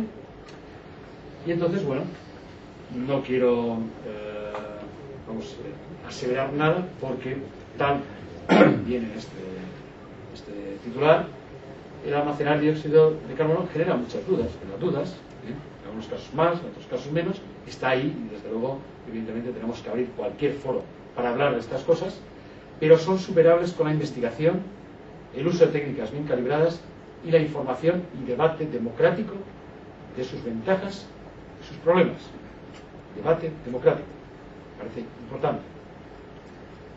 Y aquí, un pequeño sketch ¿eh? para decir que no es todo lo que se aporta, pero es parte. Esto puede reducir un tercio o más las emisiones de efecto invernadero. Y ya cierro y concluyo, quizás con un chiste más, eh, digamos, cercano a aquellos eh, bueno, que saben de la historia de la Tierra. Estos dos dinosaurios, antes del final del Cretácico, hablando de, digo que ahora es el momento de desarrollar la tecnología para evitar la caída de meteoritos. Entiéndase el sentido que tiene en relación con lo que acabo de comentar. Muchas gracias.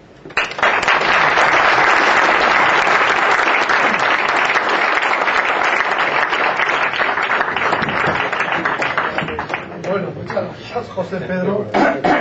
Eh, abrimos un turno, como siempre, de preguntas. Así que el que tenga algo que preguntar, por orden, vamos a ir sacando. Cristóbal Cortés tiene una. Buenas tardes. Cristóbal Cortés, Fundación CIRCE. ¿Perdón? Cristóbal Cortés, Fundación CIRCE.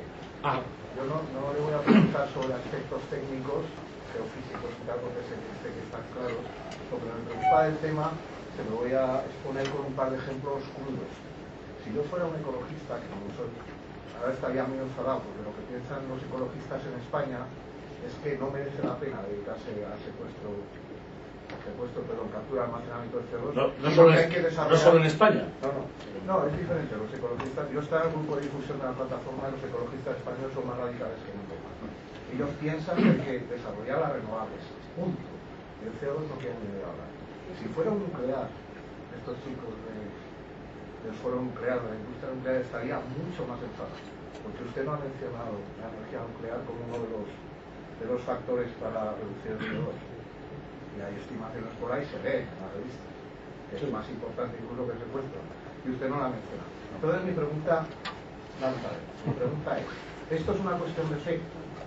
¿O es una cuestión? Creo que la ciencia, la geofísica, en su caso la ingeniería en el mío, pueden darnos una, una hoja de ruta de verdad o no. ¿Usted qué piensa sobre eso? Si usted viene aquí a vendernos la captura, el almacenamiento, pero en otros foros se venden otras cosas se- se- completamente diferentes. Ya. ¿Nos puede, ¿Nos puede iluminar en este sentido? Bueno, yo en, el, yo en ese sentido el- el- la dirección del mensaje ha estado muy clara. Es decir, hay que eh, reducir las emisiones de CO2, puesto que todos somos conscientes, y bueno, hay alguno por ahí que- de que el CO2 tiene un efecto, digamos, perverso y negativo, eh, puesto que tiene consecuencias en efectos perniciosos del clima. ¿De acuerdo? Entonces, desde ese punto de vista, hay varias opciones. Yo, evidentemente, me he centrado en una de ellas y también he elegido un triángulo, no un cuadrado. ¿eh? Porque eh, no tengo tan claro que sea una opción tan eh, evidente. El tema de la energía nuclear. ¿Perdón? Universal, quizás. Sí, pero universal, bien. Pero desde luego yo, en principio, no la considero como algo que pueda entrar, eh, digamos, de forma amplia. Hay demasiados, dema- demasiados, eh, incertidumbres y no voy a tratar los temas, eh, eh, comunes sobre ese asunto, el tema de la solución de los almacenamientos, eh, de los residuos nucleares, no solución de esto, la, incluso la incertidumbre en cuanto al abastecimiento de materias primas para la energía nuclear, en el caso de que hubiera un enorme desarrollo, no estaría garantizado. Entonces, desde ese punto de vista, y dos cosas si no he sacado un cuadrado y he sacado un triángulo. ¿eh? Pero, eh, sinceramente, creo también, desde mi posición en el- la, la administración del Estado, creo que tampoco es mi papel eh, entrar en esa línea.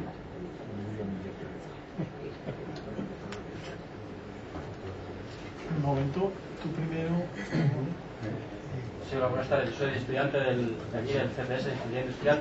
Bueno, me preguntaba más en relación con la captura, más que con el almacenamiento del CO2. Pues ahí Antonio me echará una manita. Bueno, se veía en el gráfico que mostraba al principio cómo las emisiones de CO2 han aumentado un montón desde las últimas décadas. Y bueno, los efectos, pues ya, los efectos negativos que tienen ya son palpables, pues es el retroceso de los glaciares, el aumento de las temperaturas últimamente. Y bueno, lo que quería saber era si esta tecnología de captura del almacenamiento de CO2 se va a centrar solamente en los centros de emisión, en las centrales térmicas, por ejemplo, o si también se contempla la posibilidad de, de- retirarlo de la atmósfera que ya ha sido emitido. Un poco pues, para paliar estos efectos negativos que, que ya son, ya son palpables. de retirarlo de la atmósfera. Bueno, ahí la, realmente el tema sería estabilizar el que no se incremente y después de estas soluciones, eh, digamos, si se hablado geoingenieriles y tal, pues todo queda un poco en situación casi de, ciencia ficción. Eh, realmente yo no estoy próximo ni familiarizado con, eh, con este, este tipo de, de planteamientos y actuaciones. Quizás la más reciente sea la cuestión esta de la, la semilla de hierro en el océano Ártico. Quizás eh, podría ser este uno de los planteamientos. Sí, este, lo del buque, lo del buque alemán que ha estado eh, dispersando, eh, digamos, eh, como ferralla, de hierro, de tal forma que entra en la cadena trófica y entonces los, los organismos, eh, digamos, eh, de fotosíntesis a partir de... Yo decía va bien porque la- el nivel de CO2 actualmente es muy alto y, y los, y los efectos son perjudiciales, eso está claro. Sí. Entonces, en ese sentido, si a partir de ahora lo único que hacemos es retirar el CO2 que, que vamos a emitir en el futuro, no me parece que realmente que sea una opción muy, muy útil, puesto que las emisiones ya. son muy altas. No, no, este es el gran problema. El, el- el problema es cuánto deprisa podemos, eh, digamos, reducir, ralentizar las emisiones. No tanto eliminar eh, los contenidos en, en CO2 que hay, este que hay en este momento, ¿eh? porque ya están dispersos. Entonces, la, forma de actuación sería en el nivel difuso, dentro de las, las, las emisiones difusas, evidentemente hacer que todos esos elementos difusos, eh, digamos, cambien drásticamente su visión. El tema del coche eléctrico, por ejemplo. ¿eh? Dar el caso, el caso que está en este momento absolutamente vigente. Y en el caso de, las, de, la- de los, de puntos de, eh, de emisión localizados, pues soluciones como esta de captura y almacenamiento de CO2 y también todos los conceptos de emisiones, eh, eficacia, eficacia energética. Serían los puntos. Eh, quizás a tu pregunta yo respondería, en principio habría tres soluciones. Uno, la reforestación natural. Otra sería una, digamos, aceleración de la fotosíntesis, por ejemplo, el meter, eh, sembrar con hierro, porque el hierro es la molécula fundamental en la clorofila y, por tanto, si tú no tienes hierro, no tienes eh, clorofila y si no tienes clorofila no puedes eh, capturar el CO2 de una forma biológica. Y ahora se está trabajando también en fotosíntesis artificial, ya con organometálicos. Desgraciadamente lo que tú dices es que no llegamos. Que la gente ya se está planteando que a ver si tenemos suerte y no duplicamos la tasa de CO2 con la que había, eh, digamos, hace 50 años. Ya se está viviendo con la idea de duplicar la cantidad de CO2 y vivir en un mundo con el doble de CO2 con todas las consecuencias que se tienen. Y, y quedarnos allí. Entonces ya eh, digamos que eh, si somos capaces de las emisiones futuras capturarlas lo máximo posible a través de las tres medidas que ha dado y por qué no la nuclear y, todo lo que sea necesario, pues lo que hará será tratar de bajar eso, pero lo que hay emitido a corto plazo está emitido. Eh, un momento, había Bueno, eh, es, eh, yo esto lo quiero decir, contéstenme sí o no rápidamente. No será una, no será una carta que los gobiernos ponen ahí para que se la coman, eh, en fin, tener entretenido el personal y se desarrollen pues los fabricantes del equipo que va a hacer posible el confinamiento. Es decir, es tan eficiente que vamos a poder contar con que, duplicando esa tasa de producción de CO2, eh, vamos a garantizar por lo menos 50 años de que no vamos a llenar esos depósitos que, preveamos. Segundo, primero y único, eso. Ya.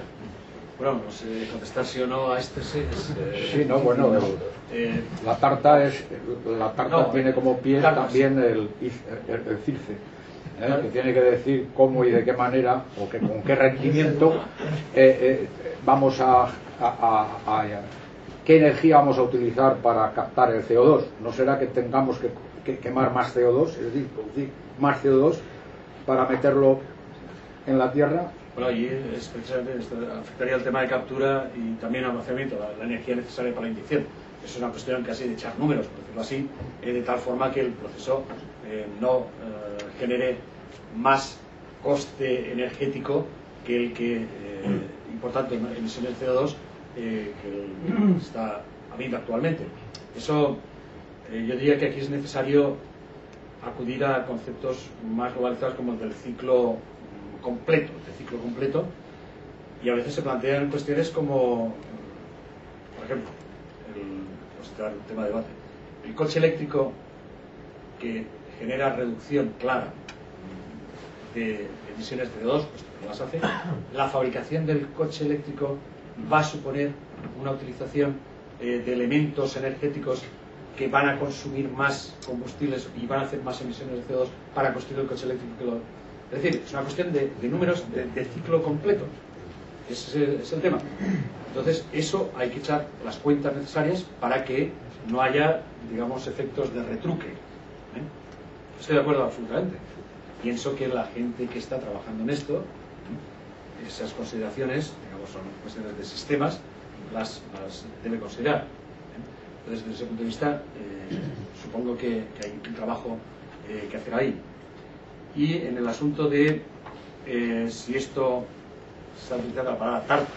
Tarta Un significa... tartón, ojo, es un tartón. No es tarta, es tartón. ¿eh? Los que tengan que fabricar esos equipos ¿eh? estarán relamiéndose ¿eh? para Sí, que pero- rápidamente eso funcione. Sí, pero ahí, ahí llegamos, pero llegamos a lo mismo. Eh, los que fabrican, eh, ¿cómo es la, la empresa esta? Es, eh, la- Testa. Eh, ¿Es un tartón para ellos los aerogeneradores? ¿O para Gamesa? ¿Es un tartón? Por supuesto. Pero es un tartón que aceptamos. Ese es, el, ese es el tema. O sea que... Pero, ah, O perdón, sea, ahora que ya esto- es esto extra, da- es extra, No, pero- eh, lo digo simplemente porque Sí, sí, supongo sí. que habrá empresarios aquí que deberían de, de también entender el tema para, bueno, Sí, pero que, que muchas Abrir veces ese habla- mercado, Sí, ¿no? que, en mercado, esto, ¿no? que en esto de, digamos, de las actuaciones verdes, eh, digamos, eh, amistosas con el medio ambiente, evidentemente puede haber negocio. Y nadie lo niega. Es una cuestión de aceptación. Y además se ve bien. eh, digamos, la, Unión Europea tiene una, política general de bienestar, de búsqueda de bienestar y de amistad con el medio ambiente y de lograr que el medio ambiente se preserve en las mejores condiciones posibles. Y para esto, pues hay gente que hace actividades económicas alrededor de ello, que le salen rentables. Casi todos los casos, si alguien opta por algo, es buscando rentabilidad. Todos estos conceptos están funcionando simultáneamente. Entonces, si aquí en esto también hay rentabilidad, pues bueno, pues la hay. De igual forma que el que hace placas solares o el que hace eh, aerogeneradores o planta o hace plantas maremotrices. Eh, yo una cuestión sobre esto. Nos estamos jugando el futuro del planeta. Y esto es muy serio. Es decir, posiblemente nuestros nietos van a ver las cosas muy diferentes de nosotros como no hagamos hoy algo. Como decía el chiste de los, de los dinosaurios. Entonces, efectivamente, el CO2 es uno de los grandes problemas de la humanidad. Pero desde un punto de vista económico es uno de los grandes negocios de la humanidad en este siglo. Por supuesto, si miramos en cantidad de hierro involucrado en un megavatio, es como unas cinco veces mayor en un aerogenerador que en una planta de captura y almacenamiento de CO2. Hay que seguir investigando. Y esto para mí es un problema de ética. O sea, o lo hacemos o nos estamos jugando el futuro de nuestros, a lo mejor, nietos o bisnietos. Y en cuanto al tema de la energía, en estos momentos es un consumo energético relativamente elevado, pero está hablando del 25% de la energía del carbón, es la que se utilizará en el propio almacenamiento. Así que quedará un 75% disponible, con la ventaja de que el CO2 queda almacenado para futuras generaciones. Eh, en costes estamos hablando del equivalente a unos 30 euros la tonelada, es decir, el equivalente a lo que cuesta. Es más, la propia Comisión Europea quiere poner el precio del CO2 a un precio tal que se pueda hacer eh, con captura de almacenamiento, con la captura de almacenamiento competitivo. Y finalmente, una cuestión. Aunque en Europa no hagamos eso, o al revés, aunque hiciéramos todo y fuéramos maravillosos haciendo todo y tuviéramos todo 100% renovables, etcétera, etcétera, ni los chinos, ni Latinoamérica, ni los rusos, ni los indios, ni los países en desarrollo van a dejar de seguir quemando CO2. En, perdón, Eh, bueno, CO2, ustedes gusten. carbón. Entonces, como no hagamos algo en esa dirección, nos la jugamos. Porque es que tenemos incluso una obligación ética, no digo ya económica, es una obligación ética de desarrollar esta tecnología a los países que hemos contribuido más a las emisiones de CO2 del planeta. Tenemos que resolverlo nosotros y tenemos que aprender a hacerlo. Y no es cuestión de hacerlo fácil. Los árabes se llevan el bien, nos traen el petróleo y se llevan el CO2, porque nos lo van a cobrar a precio de petróleo, lo que quieran. O sea, o lo almacenamos nosotros a unos precios razonables, o lo tenemos difícil. Pues se lo van a llevar y nos lo van a hacer, pero a qué precios, ¿no? En fin, había una pregunta por ahí y luego Sí, hay dos en parte ya lo ha respondido sobre el coste energético del almacenamiento geológico profundo del CO2. ¿Qué porcentaje de la energía que se produce en una tonelada de carbón es necesaria gastar en luego ese carbón, perdón, ese CO2, comprimirlo y meterlo a mil metros bajo tierra, si esos puntos son ese 25% o es...? Sí, ese es un, precio objetivo. Pensar una cuestión, el CO2 pesa más que el agua. El, el CO2 es 44, el agua es 18 de peso molecular. El, el CO2, nos lo ha explicado José Pedro, eh, eh, mm, eh, son 500 veces en condiciones normales y 1,3 metros cúbicos en condiciones de, de presión al almacenamiento geológico. Es decir, de 500 a 1. Pero es que el CO2 por una chimenea solamente entre un 5 y un 8% es CO2. Por tanto, lo que se ve por las chimeneas solo ese 5% y además está a elevada temperatura. En otras palabras, que es que estamos, eh, digamos, almacenando cosas que pesan muchísimo más que el agua. Y por tanto ocupan un volumen extraordinariamente más pequeño que la, el- que la misma agua, ¿no? O sea que no estamos hablando de almacenar gases y que tengamos, que tenemos almacenamiento de, de metano, que es peligroso, porque el, metano es peligroso, en, en Sabiñario. Y además bien, en, en- pozos bien superficiales. En el Gardisin, eso vosotros lo sabéis, el Gardisin se está almacenando metano. Es decir que realmente es que son cosas que, que si no se tienen claras a lo mejor parece que, que estamos almacenando una bomba debajo, ¿no? ¿Qué va? Es como agua, mucho más pesado. No sé Sí, en si- ese sentido, a, ver, a veces se habla del tema del CO2 como tóxico. ¿eh? Realmente el CO2 no es tóxico. El CO2, eh, en algún caso que ha habido algún accidente natural, natural, ha sido porque ha salido una enorme cantidad de CO2 de repente y ha desplazado el aire, con lo cual se convierte el aire no respirable, porque no tiene oxígeno. No es tóxico en sí. Esto quizás es una idea. Entonces, en cualquier caso, yo señalaría ahí el tema de la seguridad. ¿eh? La seguridad en los emplazamientos eh, que haya de CO2. Esto, por directiva europea, ¿eh? va a ser absolutamente estricto. Yo diría que hay situaciones, muchas situaciones, en las cuales no es previsible que haya problemas de seguridad en cuanto a la estanqueidad del CO2. ¿eh?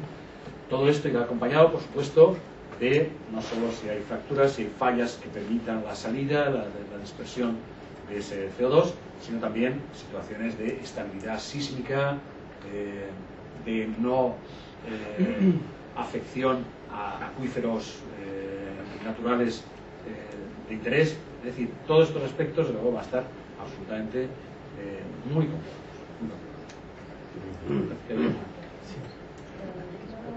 aunque sé que no es su especialidad, ya lo he dicho, pero si nos puede dar alguna pincelada sobre qué opciones para el transporte se están barajando, desde donde lo comprimimos hasta donde vamos a almacenar. No, vamos, lo que yo tengo entendido, que, que digo que no es mi especialidad, es, no se está trabajando, primero, en el, tipo de, eh, de CO2 eh, que saldría de los eh, puntos de visión, si tiene unas determinadas características en cuanto más húmedo, menos húmedo, con características, si tiene más nitrógeno, menos nitrógeno, es decir, las, las componentes ahí, lo- las impurezas que puede tener y cómo afectan a los sistemas de eh, transporte, es decir, a todo el sistema de tuberías, si hay que hacer o no eh, materiales especiales, no corroíbles, toda esta serie de cuestiones. Entonces, eso es lo poco que tengo eh, entendido porque no he estado siguiendo en detalle el tema, pero que sí hay algunos aspectos por resolver, está claramente. Para los que somos de laboratorio, una investigación geológica en condiciones, ¿cuánto tiempo conlleva? Es Desde que pudieran determinar aquí en la esa noticia que ha sacado del país, había dos emplazamientos en Aragón, uno en Casper y otro en Julve, si no recuerdo mal. Entonces, si hubiera que caracterizar esa roca, ese campo, hubiera que asegurar que no va a fugar, etcétera, ¿cuánto tiempo llevaría una investigación? Pero ahí- Porque la, la sensación es larga, de que es larga. Sí, hay que partir también de las experiencias que se están haciendo, por ejemplo, o sea, eh, eh, decía esto de la experiencia piloto en Alemania. Ese va a ser un foco de, eh, de- de transferencia de conocimientos verdaderamente importante, ¿eh? de cómo está funcionando eh, la inyección, eh, a qué eh, digamos, velocidad de difusión, cómo se estabiliza, toda esta serie de cuestiones. Entonces, eh, de otra forma, desde el punto de vista eh, geológico, para establecer las características de un determinado emplazamiento, desde luego, en el momento en que se tiene más precisado, hay que hacer líneas sísmicas, hay que hacer eh, sondeos, hay que hacer pruebas sobre el material extraído en los sondeos y después todo el trabajo de, eh, digamos, de preparación pre-inyección. Yo supongo que esto estaría en el orden de dos, tres años. Solo para ese, para ese paso a la, pre, a, a la preoperación. A la preoperación. Ya los ensayos de monitorización podían llevarnos también el doble. Pascual León de Sanca. No, no, no, bien, Vale. Sí, bueno, hemos hablado de 182 millones de toneladas, que es lo que se dice como emisión industrial, que corresponde realmente al, al 42% de las emisiones. A grosso modo estamos hablando de, 12 de 200 millones de metros cúbicos año, ¿no? A grosso modo, si multiplicado por uno, no sé lo que sale, pero vamos. Eh, España no, ha- no ha sido un país con grandes estructuras subterráneas, o sea, no ha habido grandes yacimientos de petróleo, tampoco de gas, sí los ha habido, pero en fin, ni Valdeajos, ni Serrablo, ni Tarragona es una cosa grande, ¿no? Como otros países, por lo menos comparado con otros países. En cuanto a acuíferos salinos, pues bueno, sí, podemos tener la zona del Valle del Ebro, la, la- zona de, del Duero, en fin, todo está... eh, habéis evaluado, bueno, hablabas, creo, eh, haberte entendido de, de hablar de, de gigatoneladas, ¿no? De millones. eh, eh, entonces, ¿cuánta, ¿cuántos años podrían durar estos almacenamientos? O sea, ¿durante cuántos años más o menos habéis evaluado que se podrían almacenar las emisiones de CO2 a razón de 200 millones de toneladas al año? Bueno, ahí, ahí son los números gordos, como decía. Por eso, se ha hablado muy gordos, de- de la- del número gordo son los 23.000 millones de toneladas. Eh, pero eso es, eh, es un punto de referencia, es más en función de determinadas formaciones geológicas que en una primera aproximación tienen calidad en cuanto a porosidad, permeabilidad y ubicación en el subsuelo ¿eh? Eh, a lo largo de extensas zonas del, territorio, del territorio nacional. Esto evidentemente sufre una reducción verdaderamente importante en el momento en que ya contemplamos zonas eh, favorables, pero ya a escala de decenas de kilómetros. centenas, centenas de kilómetros.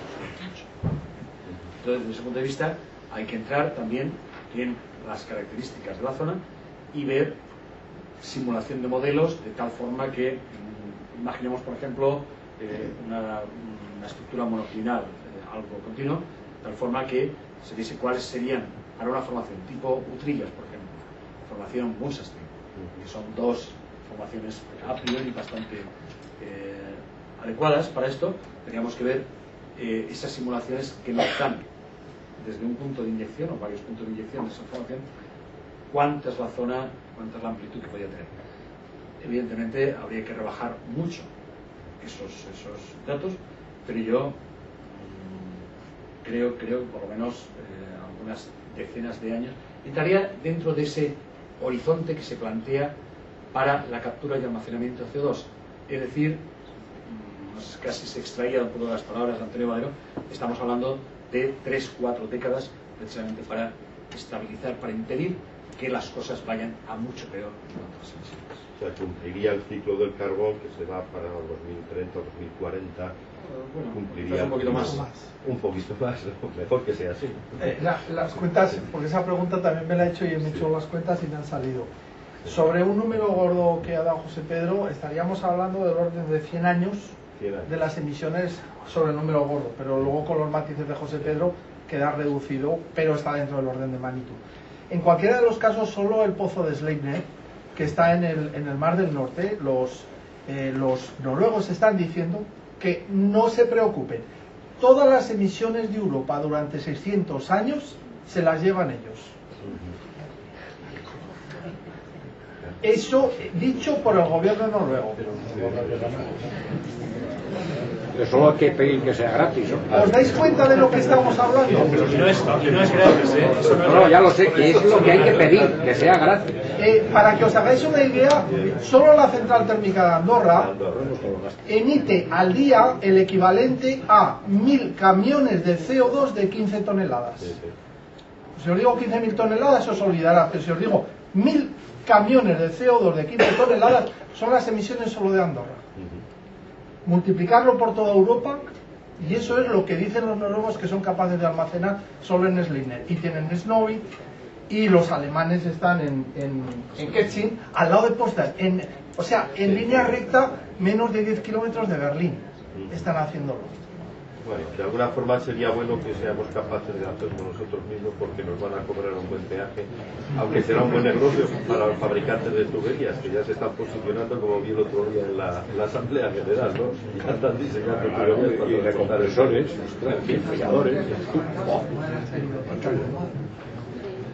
Sí, bueno, ahí se, dentro de los, del, si recuerdan el, ese esquema que he sacado como muy eh, ya famoso de las posibles opciones, había en la última parte, por ahí basaltos, tal y cual, está el tema de las peridotitas, que ha salido, eh, hace poco salió, un mes y medio, dos meses aproximadamente, eh, algo de investigaciones en Oman. Oman es el sitio de las perioditas de Oman, eh, todas estas rocas de carácter ultrabásico y tal. Entonces, bueno, ahí se apunta también como unas, eh, unos materiales con una gran capacidad de almacenamiento de CO2 por reacciones. Yo la verdad es que no, por ejemplo, no he, solo he apuntado, esbozado algo, una investigación en el instituto sobre este tema. Quizás valdría la pena, en España hay perioditas en la zona del sur, eh, en Andalucía.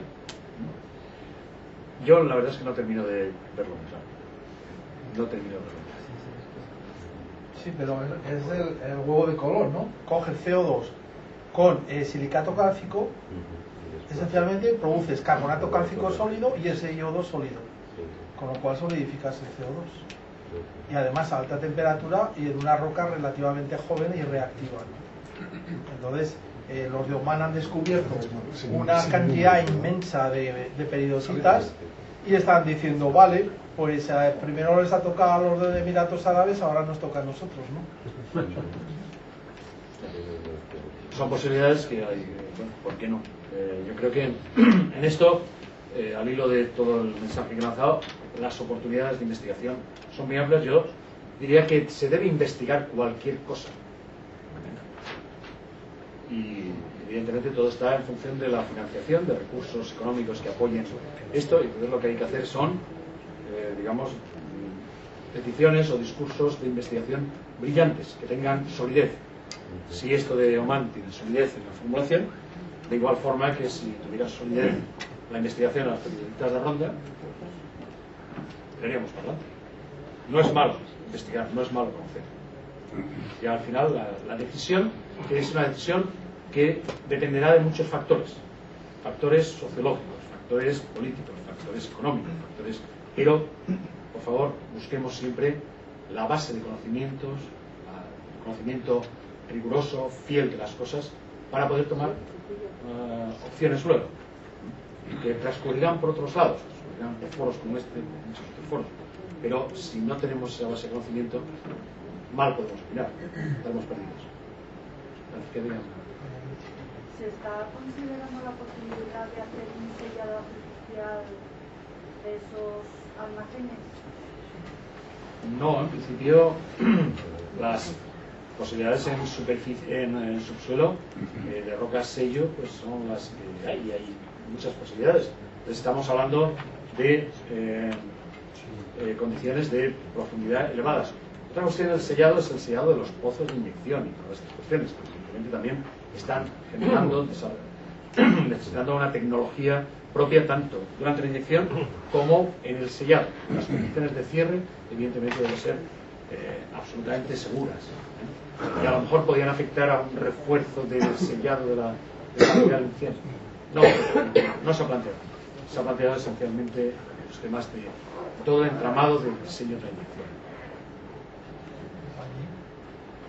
Jonás Armón, arqueólogo, eh, yo tengo una pregunta. eh, ¿Por qué la Unión Europea no está contemplando el, el confinamiento de los gases en basaltos a profundidad?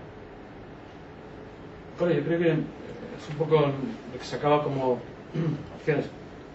Mm, En realidad, no es una de las cosas que se han descargado. Quizás porque ha habido algunas, ya, algunas, eh, algunos intentos, algunas investigaciones que sinceramente desconozco. ¿eh? Quizás porque desde el punto de donde estoy, las posibilidades en España son muy reducidas. España a nivel de basaltos tendríamos prácticamente la zona de Olot, la zona de, de Ciudad Real, y ya las otras zonas serían Canarias. Y este tipo de ámbitos pues, no se contempla. Mm, La verdad es que no te podría responder muy claramente. eh, el, el nivel de fracaso que ha habido en cuanto a investigaciones en basaltos en la actualidad. La verdad es que no no sé de caso y ni, tengo muchas referencias de- de investigaciones hechas hasta ahora. El Instituto desarrolló en los años 80 un proyecto de investigación del subsuelo en España para, con vistas a la inyección de aguas residuales. Es más, con antecedentes en Estados Unidos, en la península de Florida, sí, sí. todo esto. Eh, aquello no progresó. Así, no sé por qué razones, no sé si me podrías explicar por qué, y por qué sí podemos esperar éxito en la inyección de CO2. No, eh, a ver, aquello no prosperó, en aquel momento, de igual forma no prosperó el tema de, la- de las- los proyectos de geotermia de alta alcampía, que fueron un poquito en paralelo, vamos, por lo que me han contado de no estaba en aquel momento eh, por el instituto. Yo creo que no hubo eh, realmente una seguridad financiera para aquellos que podían tener en marcha el asunto, que podían financiar aquello, no hubo confianza llevarlo adelante. Y en el tema de residuos en profundidad de para aguas que podían afectar eh, acuíferos a lo mejor de calidad, pues eh, no se vio el potencial suficiente. Yo creo que fueron problemas financieros esencialmente, eh, problemas de, digamos, de, de interesados en llevar adelante el proceso. ¿Por qué ahora la inyección de CO2 eh, puede suponer eh, problemas por comparación? ¿no? Evidentemente, en este momento el tema del almacenamiento de CO2 se contempla como una necesidad imperiosa. Imperiosa de vista de los ámbitos de decisión política, administrativa, europea, eh, gobiernos, etc. Entonces, desde ese punto de vista, los problemas que puede haber eh, en cuanto a afección de sistemas naturales que hay que preservar, las cosas, se van a llevar muy, de una forma muy precisa para evitar cualquier tipo de afección negativa. ¿eh? Es decir, yo creo que esta cuestión de necesidad imperiosa con eh, necesidad de salvaguardar ¿eh? cuestiones medioambientales eh, va a permitir que se lleven adelante los proyectos. Es decir, habrá apoyo a que se lleven adelante estos proyectos. No sé es- Bueno, decisión política. Sí, sí, sí, Decisión política armada con criterios eh, de conocimiento científico. Sí, sí, bueno, pero en el tema de las aguas, vamos, mm, por lo que yo recuerdo de haber compartido esa tecnología, estaba desarrollado, sí que había problemas financieros, efectivamente, pero mm, si los hubiera apoyado el gobierno frente a otras alternativas de tratamiento de aguas, hubiera tenido éxito, como ahora con el CO2 y el Igual, nos apoya. igual que no se apoyó lo de la investigación geotérmica. Exactamente lo mismo. exactamente lo mismo. Es así, o sea, ahí ese, ese factor eh, pues, vamos, será un factor absolutamente. Eh, Con respecto al tema, de- tema financiero, eh, dos, dos mensajes. Las, hace 15 días la Comisión Europea ha lanzado, dentro de estas ayudas urgentes ante la crisis económica y tal y cual, eh, 1.250 millones de euros dedicados a captura y almacenamiento a gastar, a gastar en el año 2008 y 2009. Insisto, 1.250 millones de euros. No sé cuánto dinero es ese, una pasada. Mucho. Mucho. Y, y- y de ellos, solo cinco países, diríamos, han sido los agraciados. Uno de ellos es España. Y precisamente para montar una planta de 500 megavatios con captura y almacenamiento de CO2. Eh, el flagship program de la Unión Europea que se propuso desde la plataforma tecnológica europea y es un consenso eh, de todos está planteando un- una demanda a los gobiernos del orden de 1,25 billones billones eh, americanos es decir 1,25 mil millones de euros para, eh, para eh, llevar adelante el flagship program más los riesgos que asuman las propias empresas. Es decir, si yo construyo, el coste ese me lo asumo yo, excepto en el tema de captura.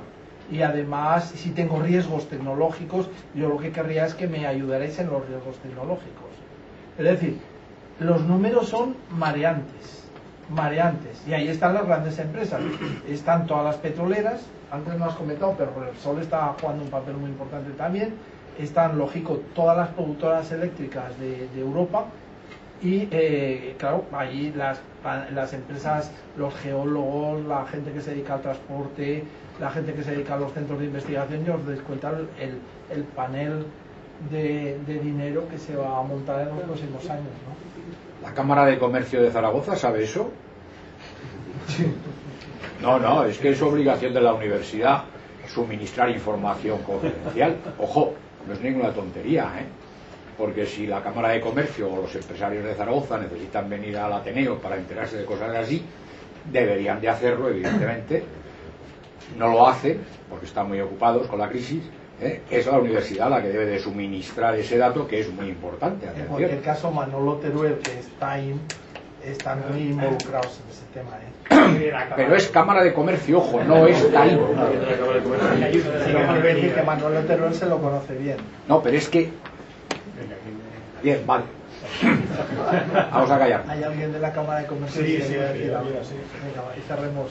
Que, que Bueno, ha si queda alguna pregunta todavía, que, que podemos tener una si, si quedara alguna y si no, pues. ¿Hay, de- ¿Alguien quiere comentar algo sobre.?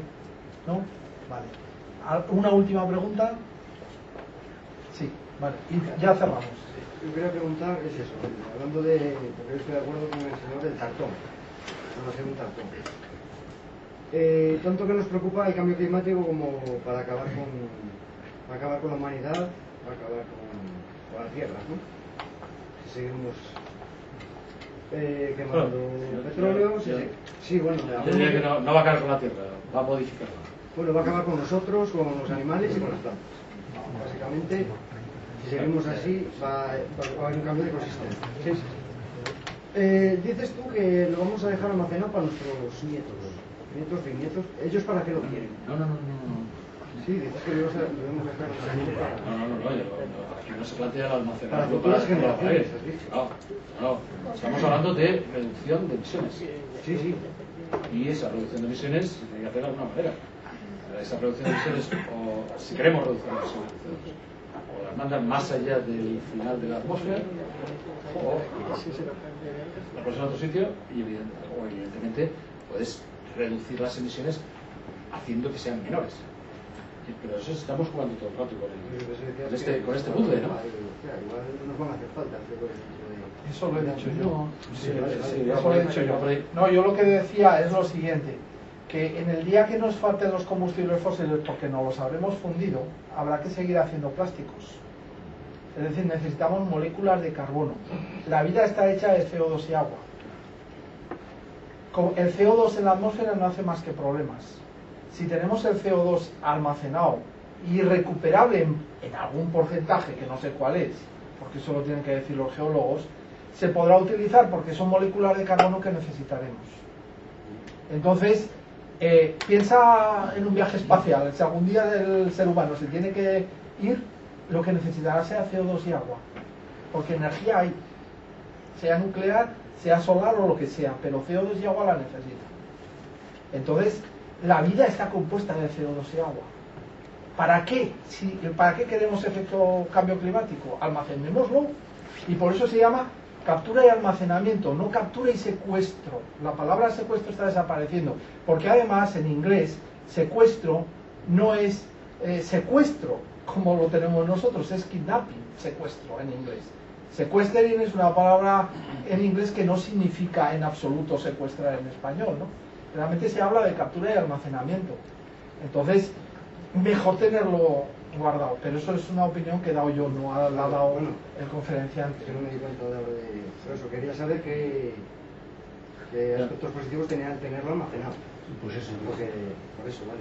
Sí, bueno, ahí, ahí, aunque no es un tema, eh, está al final flotan alrededor muchas opciones, pero bueno, estaría el comentario de que usamos CO2, se puede usar CO2 positivamente tema de todas las aguas carbónicas, las eh, colas, pues, pues, es decir, una serie de elementos que pueden tirar, que pueden usar CO2. Y también hay toda una, una plataforma, precisamente el proyecto CERIT CO2, hay toda una plataforma de usos de CO2, que es muy interesante para la industria alimentaria, para la industria energética, para la industria eh, sanitaria. Hay muchos usos posibles. Y no sé si enlaza exactamente con este comentario de lo bueno que es tener la podría, podría serlo, ¿por qué no? Pero que también hay esa otra vertiente, es decir, el uso del CO2 para determinados desarrollos que pueden también ser necesarios tenerlo almacenado puede ser una fuente de CO2. No es la que yo, evidentemente, la que, la que guía el mensaje que quería transmitir aquí. Creo que no. El, el, el CO2, cuando yo me fijo ahí en los datos que habéis dado, o sea, en estado crítico o supercrítico decís que ocuparía, ocuparía como un 0,9 metros cúbicos. 1,9. O 1,9. Si lo bajas a 700 metros, No, estaríamos en esas condiciones. es que después poníais que era 13 metros cúbicos. No, no, no, no 9, 9, metros cúbicos. La esponja. La esponja. La esponja de la roca, claro. Sí, sí, es la esponja de la roca, claro. O sea, es que hay esa situación de hay alguno se diluye y Eso todo- si estuviera, si estuviera en una caverna, digamos, pero eso no existe. Lo normal es meter, es como el agua subterránea. El agua subterránea, esta idea que se habla de los ríos, evidentemente no es así en la mayor parte de los casos. El agua subterránea está en los poros de la roca. Este es el mismo. Son poros que están conectados, entonces, claro, pero el soporte, un soporte sólido y es ahí donde estaría almacenado el CO2, en los huecos de ese soporte. Entonces, una tonelada estaría en un hueco de 9 metros cúbicos. Esa es la.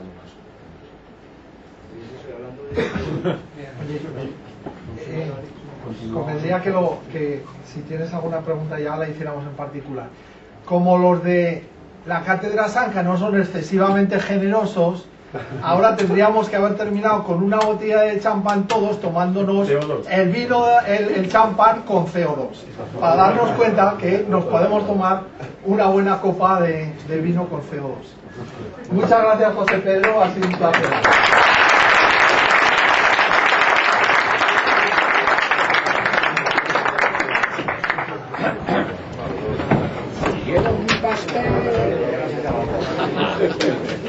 失礼しま